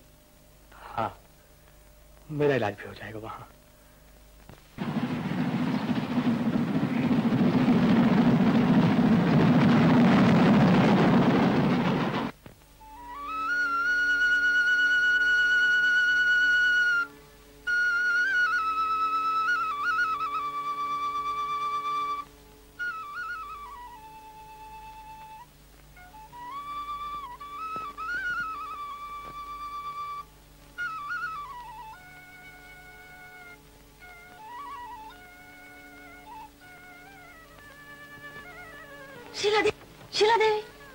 शीला देवी?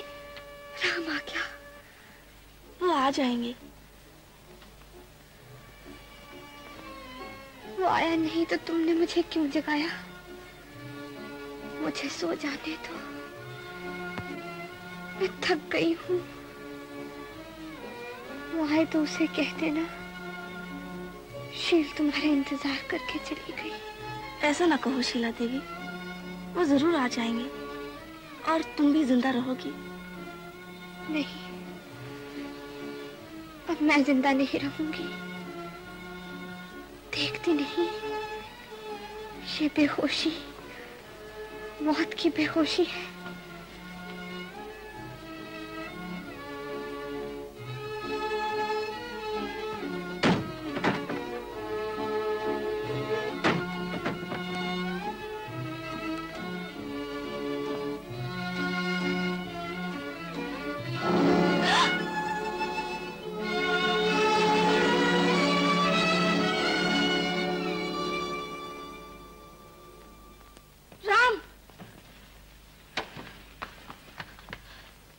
तुम देर से आए हो राम।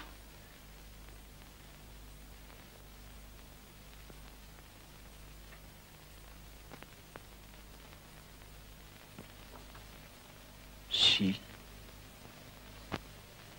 शील शील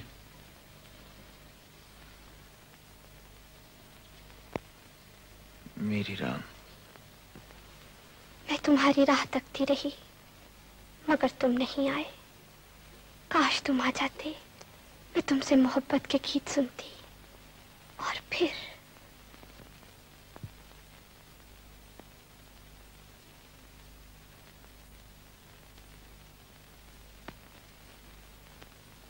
शील, उठो शील, मैं आ गया हूँ। मैं आ गया हूँ शील।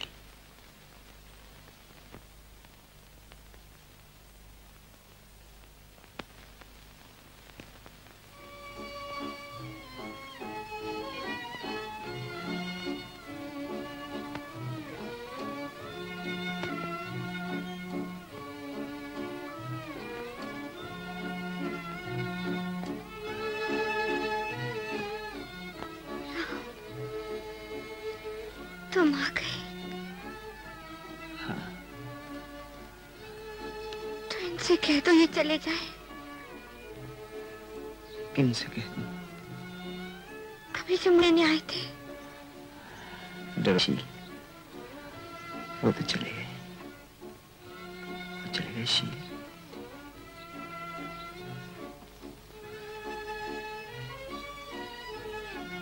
मैं कहाँ डरती हूँ?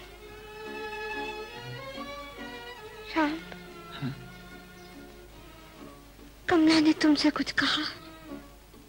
कुछ तो नहीं कहा उसने। अच्छा हुआ उसने कुछ नहीं कहा।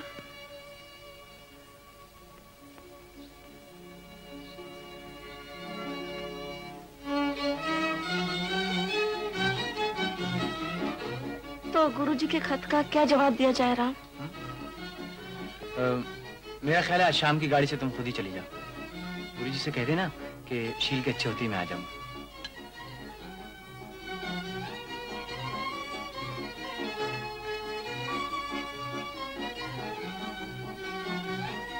हम आपके लिए कुछ लाए हैं। क्या? कितने अच्छे हैं। आपने हमसे कहा? हमने फूलों से कहा।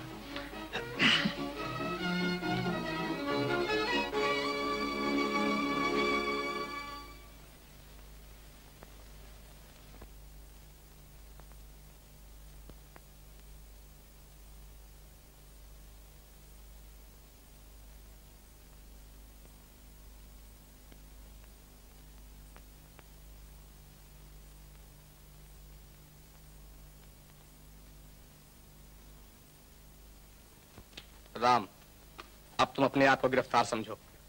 विनोद मुझे शीला के सामने गिरफ़्तार न करो। अपने हाथ में आई हुई शिकार को छोड़ देना मैंने नहीं सीखा। मैं वादा करता हूँ कि आज रात को मैं अपने आप को तुम्हारे हवाले कर दूँगा। रात होने में बहुत देर है। शीला का ख्याल करो विनोद। वो अभी अभी अच्छी हुई है। देखो राम मैंने ये फूल। राम? अच्छा तुम जा सकते हो लेकिन ख्याल रखो भागने की कोशिश नहीं करना। कोने कोने पर मेरे आदमी मौजूद हैं। राम राम। राम। तुम कहाँ चले आए राम? किसी से बातें कर रहे थे? गुरुजी ने संदेशा भेजा है। मुझे कैंप जाना होगा। तुम मुझे छोड़कर चले जाओगे राम? मैं तुम्हें छोड़कर कब गया शी हमेशा तुम्हारे पास ही रहा। मत जाओ। मुझे जाना ही पड़ेगा शील मैं वादा कर चुका हूँ। लौटकर कब आओगे? जब मैं देश की आज़ादी की जंग जीत लूँगा।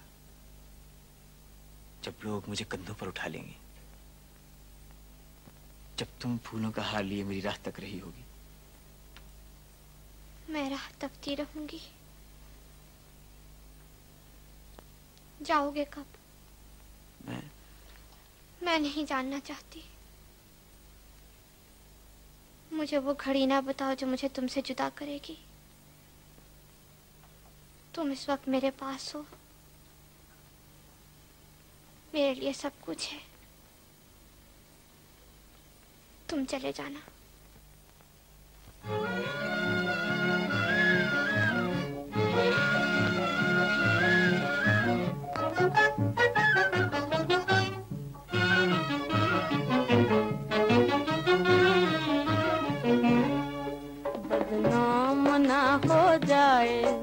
बदनाम ना हो जाए, मोहब्बत का फसाना तो दर्द भरे आँसू आँखों में नाना।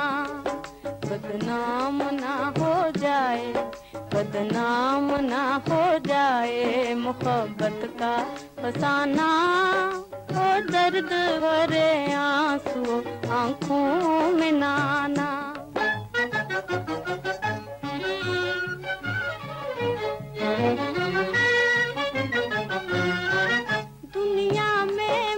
मोहब्बत की यही रीत है दिल। दुनिया में मोहब्बत की यही रीत है दिल। यही रीत है दिल, यही रीत है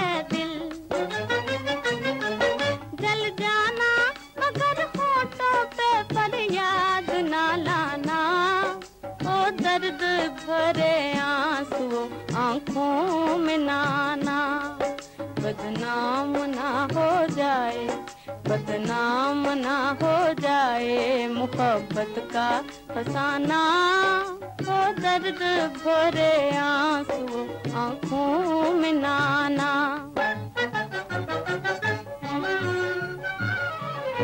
कह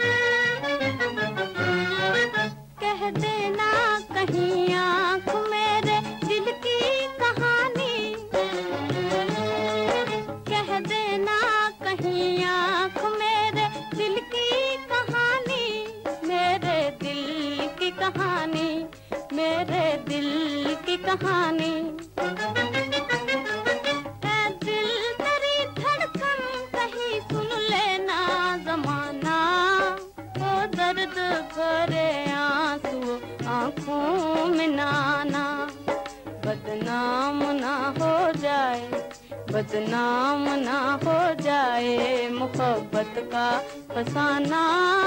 तो दर्द भरे आँसू आँखों में नाना।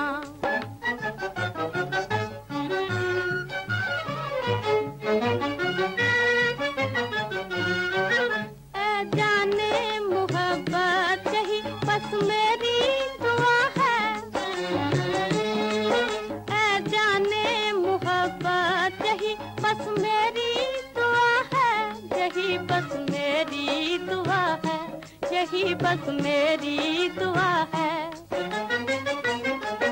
हो जाए साथ मेरी वो दर्द आँसू आँखों बदनाम ना हो जाए, बदनाम ना हो जाए का फसाना, वो दर्द भरे आँसू में नाना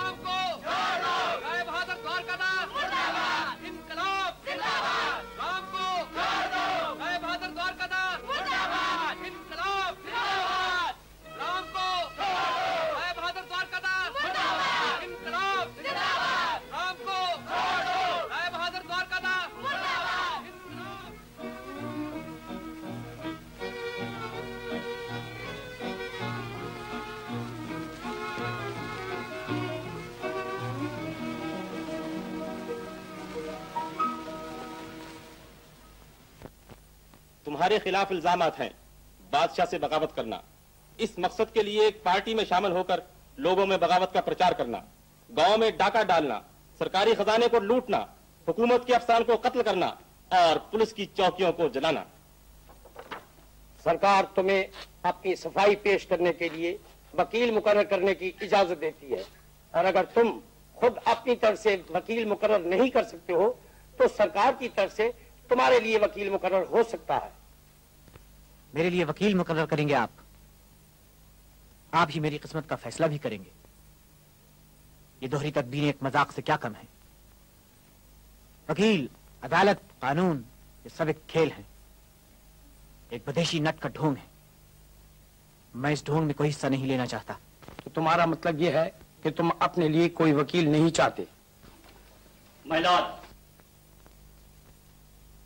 मुजरिम का वकील मैं हूँ।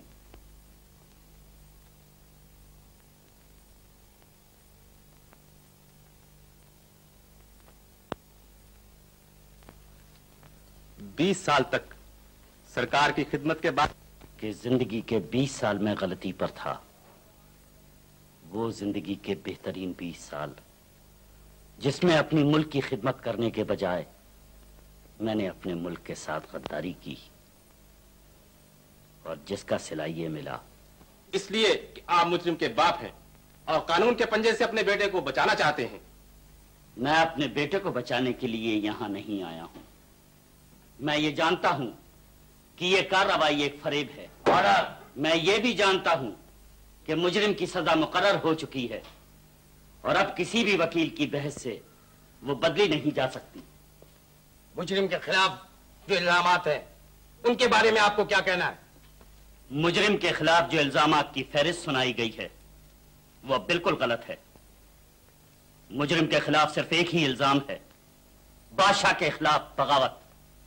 मुजरिम ने जो कुछ किया है, उसी बगावत के रास्ते पर चलते हुए किया है। विदेशी सरकार के खिलाफ बगावत करना कोई जुर्म नहीं। मैं आपसे पूछता हूँ कि किस गुलाम मुल्क में आज़ादी के लिए बगावत नहीं हुई? आज़ादी के लिए कत्ल खून नहीं हुए। अमेरिका में आज़ादी की जंग लड़ी गई। फ्रांस में हुकूमत का तख्ता उलट दिया गया।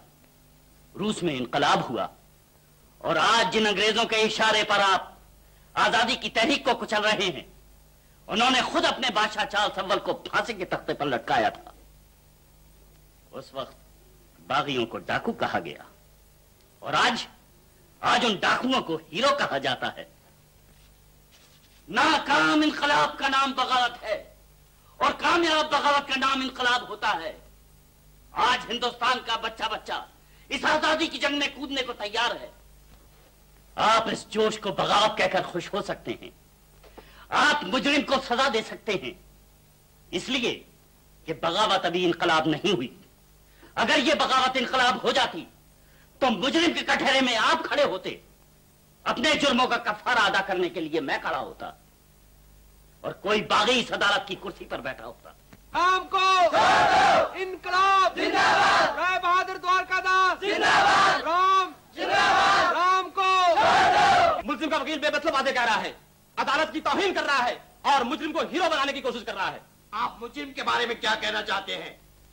मुजरिम? राम मुजरिम है। उसने अपने गुलाम मुल्क को आज़ाद कराने के लिए आवाज़ बुलंद की। वो मुजरिम। उसने भूखों नंगों की मदद की और वो मुजरिम। उसने गद्दारों को रास्ते से हटाया और वो मुजरिम। वो भी आईसीएस हो सकता था। आपकी तरह वो भी अदालत की कुर्सी पर बैठ सकता था। उसने अपने मुल्क के लिए रुपया पैसा इज़्ज़त आराम ओहदा खुशी सब कुछ ठुकरा दिया और वो मुजरिम।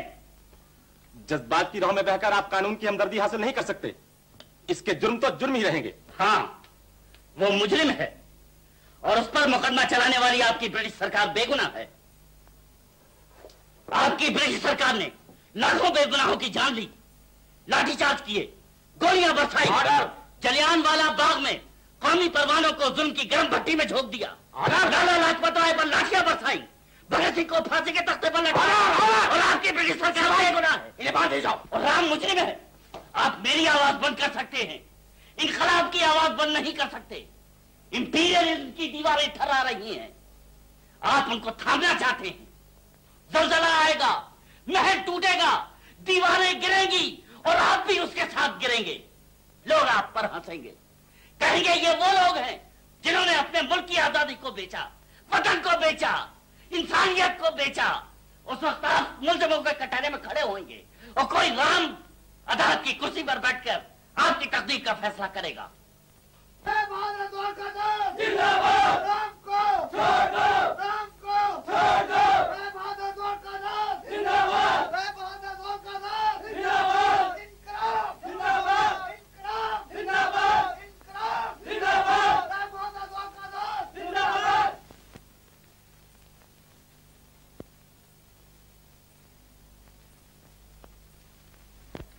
फांसी की सजा होगी।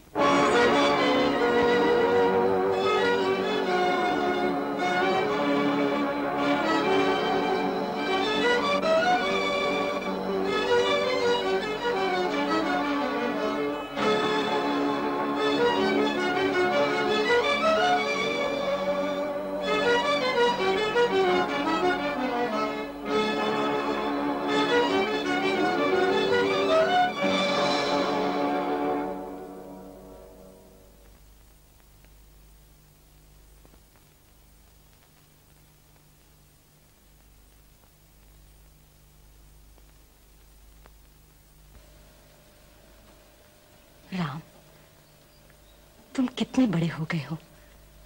लोग तुम्हारी जय जयकार करते हैं। कहते हैं राम जिंदाबाद। ये सब तुम्हारा ही तो आशीर्वाद है माँ। तुमने सारी उम्र आशीर्वाद के सिवा और कुछ नहीं मांगा। कुछ और मांगो बेटा। मैं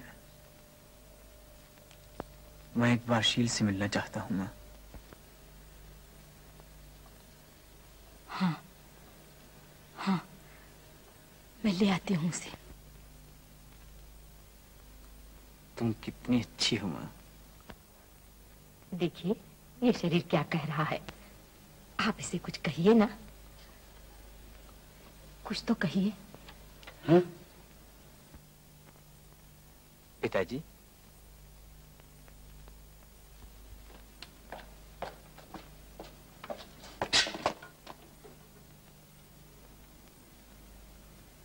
माँ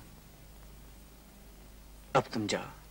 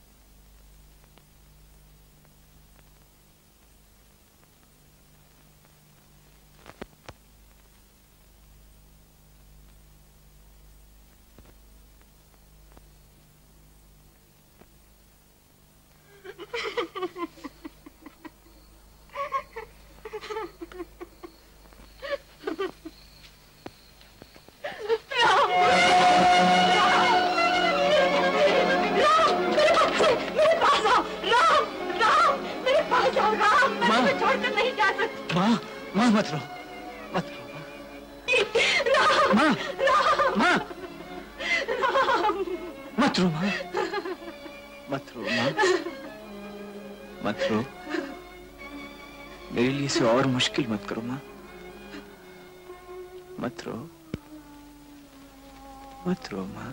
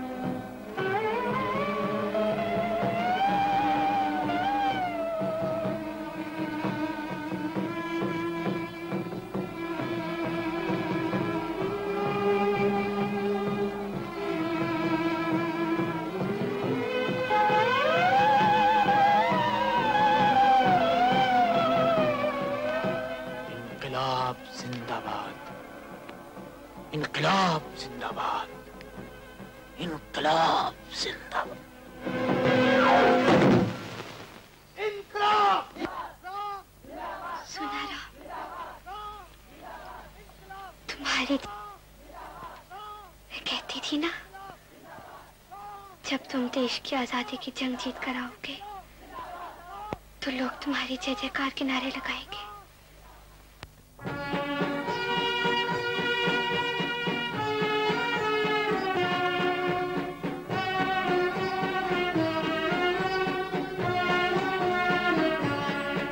वतन की राह में वतन के नौजवान शहीद हो। वतन की राह में वतन के नौजवान शहीद हो। पुकारते हैं ये ज़मीन आसमां शहीद हो। वतन की राह में वतन के नौजवान शहीद हो।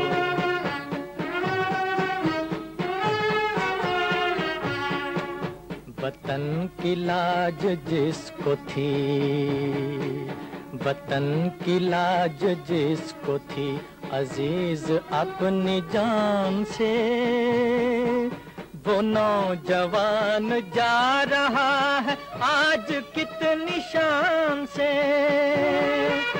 इस एक जवां की खाक पर हर एक जवां शहीद हो, वतन राह में वतन के नौजवान शहीद हो।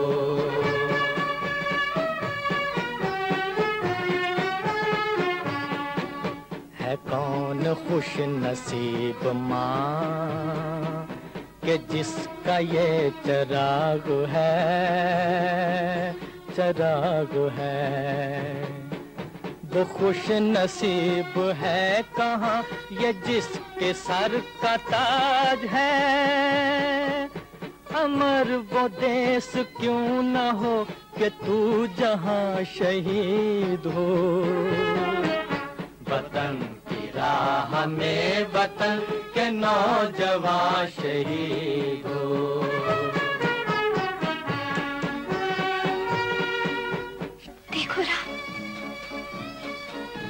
लोगों ने तुम्हें कंधों पर उठा लिया है।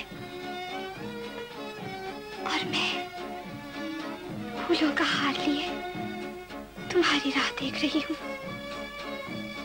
मेरी तरफ़ देखो। मेरी तरफ़ देखो राम। तुम मेरी तरफ़ देखते भी नहीं। वही हुआ ना जो मैं कहती थी। तुम्हें इतनी फुर्सत भी ना होगी।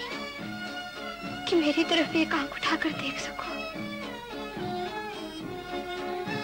अच्छा मेरी तरफ़ देखते नहीं तो मेरी ये फिर तो स्वीकार कर लो।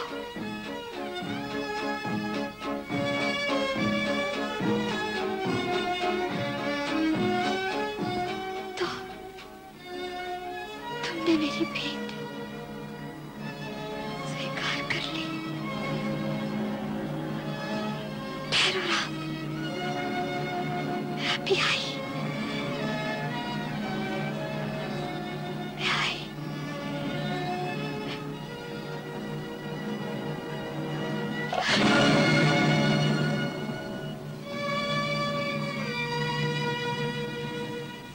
शहीद, तेरी मौत ही तेरे वतन की ज़िंदगी।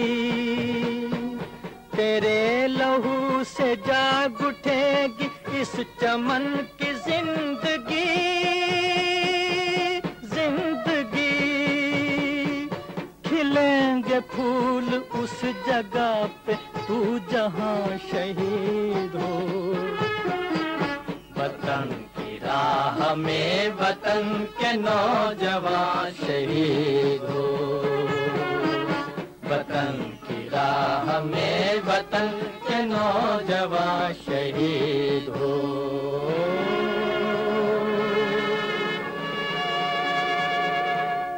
शहीदों की चिताओं पर लगेंगे हर बरस मेले। पैरने वालों का। यही नामो निशाओ